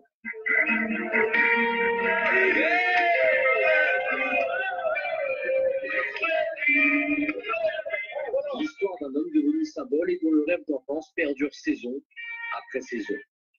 Et oui, on le salue, euh, Freddy, qui a la passion comme euh, nous toutes et tous. Et, c'est vrai que lui, il le vit au cœur euh, du FC Sochaux Montbéliard. Et c'est vrai que c'est quelqu'un de très important au club. Eh bien, on va parler un petit peu tactique quand même. On va voir comment ont évolué les, équipes de, Clermont. Lors du dernier match Clermont-Nancy, Clermont a, évolué, a évolué avec un, schéma tactique en 5-3-2 avec euh, El Kautari, Liboli et Seka euh, dans, l'axe avec Karamoko et 6 qui peuvent monter justement sur, les côtés. Au milieu de terrain, on avait retrouvé euh, Kenny Rocha Santos, Lefebvre, Bassi, euh, Wagner et, Gay. Euh, non, là ils ont inversé. Non, là c'est moi qui, euh, qui euh, des, des bêtises. euh, parce que c'est plutôt euh, de l'autre côté, euh, c'était plutôt en 4-2-3-1 qu'ils évoluaient, euh, justement, mais c'est euh, c'est sur, euh, voilà, sur un certain site où ils se sont, ils se sont plantés, ils ont inversé, euh, ils ont inversé les équipes, ça me paraissait bizarre aussi. Non, on retrouve, euh, voilà, dans l'axe, euh, dans l'axe de la défense centrale, sur le côté euh, Zedatka, euh, Florent Angier, Albert Nsimba, euh, de côté Nsimba, ancien joueur de Bourg-en-Bresse, hein. Euh, du côté euh, du milieu de terrain, milieu défensif entre euh, Gatien et Iglesias. Ensuite, du côté euh, de l'attaque, Alvina sur un côté, côté droit, Gomis côté gauche, Berthomier dans l'axe et Grevic, le buteur, euh, qui en est à cette réalisation euh, pour le côté. Voilà, en 4-2-3-1, ça va être un. on va suivre ça parce que ce choix a évolué euh, justement du côté, euh, euh, du côté euh, de, de Rodez en, en 4-1-4-1 avec euh, Rokia, Diediou, euh, Teke, Payet euh, pour la défense, Kabouni également en milieu défensif. On a aussi retrouvé au terrain Touré, Thune, City et Eli Volant et Sané était euh, seul en point. Et puis contre Guingamp, eh c'était un, autre schéma euh, qu'a choisi justement Mardaf. On était en 4-2-3-1. Euh, donc on, avait retrouvé Rokia, Diadio euh, et Teke, les deux défenseurs centraux, Payet sur un côté, euh, et City qui étaient en milieu défensif et devant on retrouvait Touré, Thune, Livolan et Sané. Donc on va voir ce que va nous compléter justement Omar Daf pour cette rencontre euh, face à Clermont. Ce sera, je le répète, ce vendredi à partir de matin. Donc soyez nombreuses et nombreux du côté euh, du Stade Bonal car l'équipe a besoin de vous. Et cette saison, on voit une vraie équipe, une équipe qui a envie et surtout une équipe qui obtient euh, des résultats. Donc c'est une, très bonne chose et il faut venir euh, soutenir euh, son club. On va passer, euh, on va fermer cette page euh, Ligue 2 si euh, personne nous appelle. Hein. Vous pouvez nous appeler 03 81 50 67 euh, 51. Vous pouvez nous écouter sur Shalom Besançon 99.5 et également sur Radio Shalom Besançon.com. On va maintenant passer à Fred. Fred qui va nous parler un petit peu des résultats de ce quatrième tour de Coupe de France, n'est-ce pas? En particulier les clubs de National 2 et National 3. Euh, étant donné que la liste est assez longue, je vais donner les résultats principaux. Alors, tout d'abord, bah, on va parler des deux clubs byzantins, si tu veux bien. Euh, tout d'abord, le Besançon Foot qui s'est se déplacer ce samedi du côté de Noisy-dans-les-Vesoul. Bah, il- bah, c'est un grand succès pour les Byzantins puisqu'ils se sont imposés 8 buts à 1. Alors, hier, euh, le Racing Besançon s'est déplacé du côté du Stade Dousseau à, Saint-Vite. où ils se sont imposés 4 buts à 0. Un bon match, on peut dire, hein, puisque je suis allé voir hier, le voir hier. Sinon, dans les autres résultats, le CA Pontarlier a battu les Écorces 4 à 0. Jura Sud a battu Val d'Amour 5 buts à 1. Dans le derby du territoire de Belfort, l'ASM Belfort a battu Bavilliers 2 buts à 0. Jura de Loire s'est imposé du côté de Longvic à côté de Dijon, donc 1 but à 0. Et Mortemont-le-Bon a battu Montfaucon 4 buts à 2. Le tirage au sort du cinquième tour aura lieu ce mercredi 2 octobre à 19h à l'Intersport de Chazelle, avec euh, aussi dans ce tour l'entrée des clubs de National 1, donc ça, que ça n'est pas directement. Et les matchs auront lieu les samedis 12 et dimanche 13 octobre. Sinon, ben, je vous donne l'agenda du week-end qui va venir, puisqu'il y aura des, des, matchs. Alors, en National 2, ce sera la septième journée, avec ce, samedi dans le groupe A, la SMB Fort qui recevra l'USKT Lusitanos dans le groupe A, et dans le groupe D, le Jura Sud se déplacera du côté de la réserve du niveau olympique. Et puis, ce sera aussi la cinquième journée de National 3, que nous suivrons tout particulièrement. Avec ce samedi 5 octobre à 18h, le Sien Pontarlier qui recevra Solongé. Mortemont-le-Bon se déplacera du côté de Sens. Roche-de-Villard se déplacera du côté de Guignon. Jura de Loire recevra la réserve du SSE Chaumont-Béliard. Et le Racing Besançon, que nous suivrons en direct du, que nous suivrons heureusement, qui recevra Mont-Solémine. Et ce dimanche 6 octobre, à 15h, Vadin-Versel recevra le Besançon Foot. C'est bien ça, c'est tout donc pour le football. Donc nous suivrons bien sûr Racing sur, sur samedi, samedi Oui. soir. C'est ça, samedi soir au stade du Rosemont. Eh bien, on va fermer cette page de football, puis on va s'intéresser cette fois-ci au handball avec la Pro League, car il y avait un match du côté euh, du Palais des Sports euh, ce vendredi avec euh, le Grand Besançon du handball qui recevait l'équipe de Saran. Victoire 31 à 29 euh, des Bisontins pour leur première euh, cette saison. Et on- il y aura d'autres rencontres également. Au classement, Besançon est huitième avec trois points. Prochain match euh, pour les Bisontins, eh bien, ça sera euh, donc euh, ce, euh, la, la journée. Voilà, c'était, c'est, normalement c'est ce mercredi, mais pas pour euh, vous donner d'erreur. Le 2 octobre, c'est mercredi, Fred. Hein mercredi 2 octobre. Euh, donc à partir de 20h30, euh, le Grand Besançon de handball sera du côté de Strasbourg. Et puis samedi prochain, ce sera la Coupe de la Ligue au Palais des Sports gagné à la Houze. Euh, donc soyez nombreuses et nombreux pour venir soutenir les Byzantins. Et on va retrouver l'homme du match, euh, c'est également Abdullah Mané qui a réussi un bon nombre de buts encore dans cette rencontre. Et on, on, on lui a fait, on a fait une interview après euh, ce- cette belle victoire face à Saran. Avec Abdullah Mané. Ça y est, le, le compteur est débloqué avec cette victoire face à Saran. Tout n'a pas été facile ce soir, mais le principal, c'est la victoire. Ouais, c'est sûr, on est, on est super content de notre, de notre prestation, on n'a rien lâché. On a énormément travaillé pour ce match et ça nous fait très plaisir de, de ce soir gagner et prendre notre première victoire euh, ce soir à domicile. Qu'est-ce qui a été le plus difficile euh, ce soir? C'est une belle équipe aussi en face, Saran. Ouais, c'est une belle équipe ce soir, c'est une équipe qui a beaucoup d'expérience, mais je pense que on a beaucoup couru, on s'est beaucoup battu en défense, on a beaucoup récupéré des ballons. Et en attaque, on a patienté. Et contrairement au match de je pense qu'on a pris de l'expérience. À la fin, on a su temporiser et euh, prendre le temps. Et ça aussi, c'est l'apprentissage de la Pro League. Ouais, c'est ça, c'est sûr, c'est sûr. Justement, que vous avez demandé le coach euh, au début de cette rencontre Quelle était la, justement la, la tactique euh, à mettre en place? Et il nous a dit que voilà qu'en face c'est des, des joueurs euh, très expérimentés, beaucoup plus expérimentés que nous. Il y a des très grands joueurs même, mais que voilà si on voulait gagner ce match, il fallait qu'on impose notre rythme parce que c'est une équipe qui aime, bien euh, poser son jeu et on savait que si on les laissait poser son jeu, leur jeu, ça allait être très difficile pour nous. vrai qu'il y avait eu la défaite à Valence, le, match nul con- contre Nice. Justement, c'est des matchs où on apprend, mais c'est vrai que dans cette, euh, en Pro League, faut en prendre vite. Ouais, c'est sûr, on va prendre vite, mais on est très content de notre prestation ce soir et franchement, je pense qu'on a, qu'on a pris beaucoup d'apprentissage depuis euh, le match de Nice. Et une vraie victoire collective aussi ce soir. On avait Arthur dans les buts, vous également, toute l'équipe en fait. C'est ça, tout le monde a, je trouve que tout le monde a apporté sa pierre à l'édifice, on s'est battus tous ensemble et c'est ça qui a fait la différence, je pense. Les matchs vont s'enchaîner, ça, maintenant, avec Strasbourg bientôt, et en plus, euh, ici, samedi prochain, le match euh, en Coupe de la Ligue. Ouais, c'est sûr que les matchs vont s'enchaîner, ça va être euh, dur physiquement, mais voilà, il faudra continuer à travailler, continuer à bosser et je pense que ça va payer. Merci Abdoulaye, et encore bravo. Merci à vous. C'était Abdullah Mané. Je vous propose maintenant d'écouter l'entraîneur Dragan Zovko. Une partie de l'interview, hein, parce que elle est, elle est très longue. Vous pouvez retrouver l'interview sur la page YouTube Fred Sochaux. Mais là, je vous passe juste un petit extrait. On est avec euh, Dragons of War après la victoire. Ici, la première victoire euh, de la saison en Pro League pour le Grand Besançon euh, du handball. C'était une soirée compliquée. C'est une, une, belle équipe. Qu'est-ce que vous retenez ce soir? Bon, je, je, retiens forcément euh, les deux points, euh, la victoire. Je retiens euh, le cœur, l'envie de, de, gagner ce match, de l'emporter, etc. l'envie de, malgré tout ce que vous avez vu pendant le match, de, résister. Et, et, puis voilà, donc je pense que euh, ce qu'on a fait ce soir, euh, je ne parlerai pas de match référence, mais je pense que ce soir, euh, ils doivent comprendre que si on veut gagner le match, il faut qu'on surpasse. Sport de haut niveau, c'est le dépassement de soi, c'est surpassé. Ce soir, je pense qu'on était à 110, 120% de, de euh, ce qu'on produit.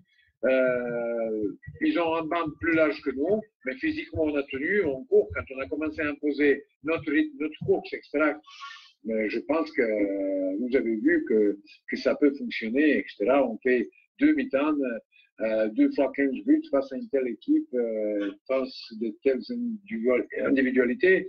Voilà, je suis content, c'est tout. Oui, et puis euh, c'est vrai qu'il y a aussi euh, il y a eu des blessés aussi ce soir. Est-ce que vous pouvez nous donner déjà des, des nouvelles de Karanovic, euh, entre autres? Karanovic, il a l'arcade ouverte, donc on a cousu ça et maintenant c'est euh, Chavalet, il va y avoir une cicatrice, mais c'est comme ça quand on est un balleur. Et Tino Franic, malheureusement, a une fracture euh, déplacée, enfin, euh, le nez est parti du côté et il va falloir euh, certainement l'opérer. On verra est-ce que le prochain match sera disponible. Ce que j'avais à dire à propos de ce que vous avez vu ce soir, j'avais dit sur, sur, le terrain, je ne vais pas me retarder sur ça, mais c'est proprement scandaleux. Et c'est scandaleux, c'est tout simplement. C'est que euh, on te met un coup dans, dans la tranche, on te casse le nez, on voit pas qu'on t'a cassé le nez. Il n'y a que ce soir que été possible. Mais bon, je passe. À vous parler justement de se surpasser, c'est aussi mettre plus d'intensité hein, dans les matchs, c'est ça? Les remontées de balles plus rapides? Oui, mais il n'y a, pas que ça, il y a, tous les domaines. Vous devez vous euh, surpasser mentalement.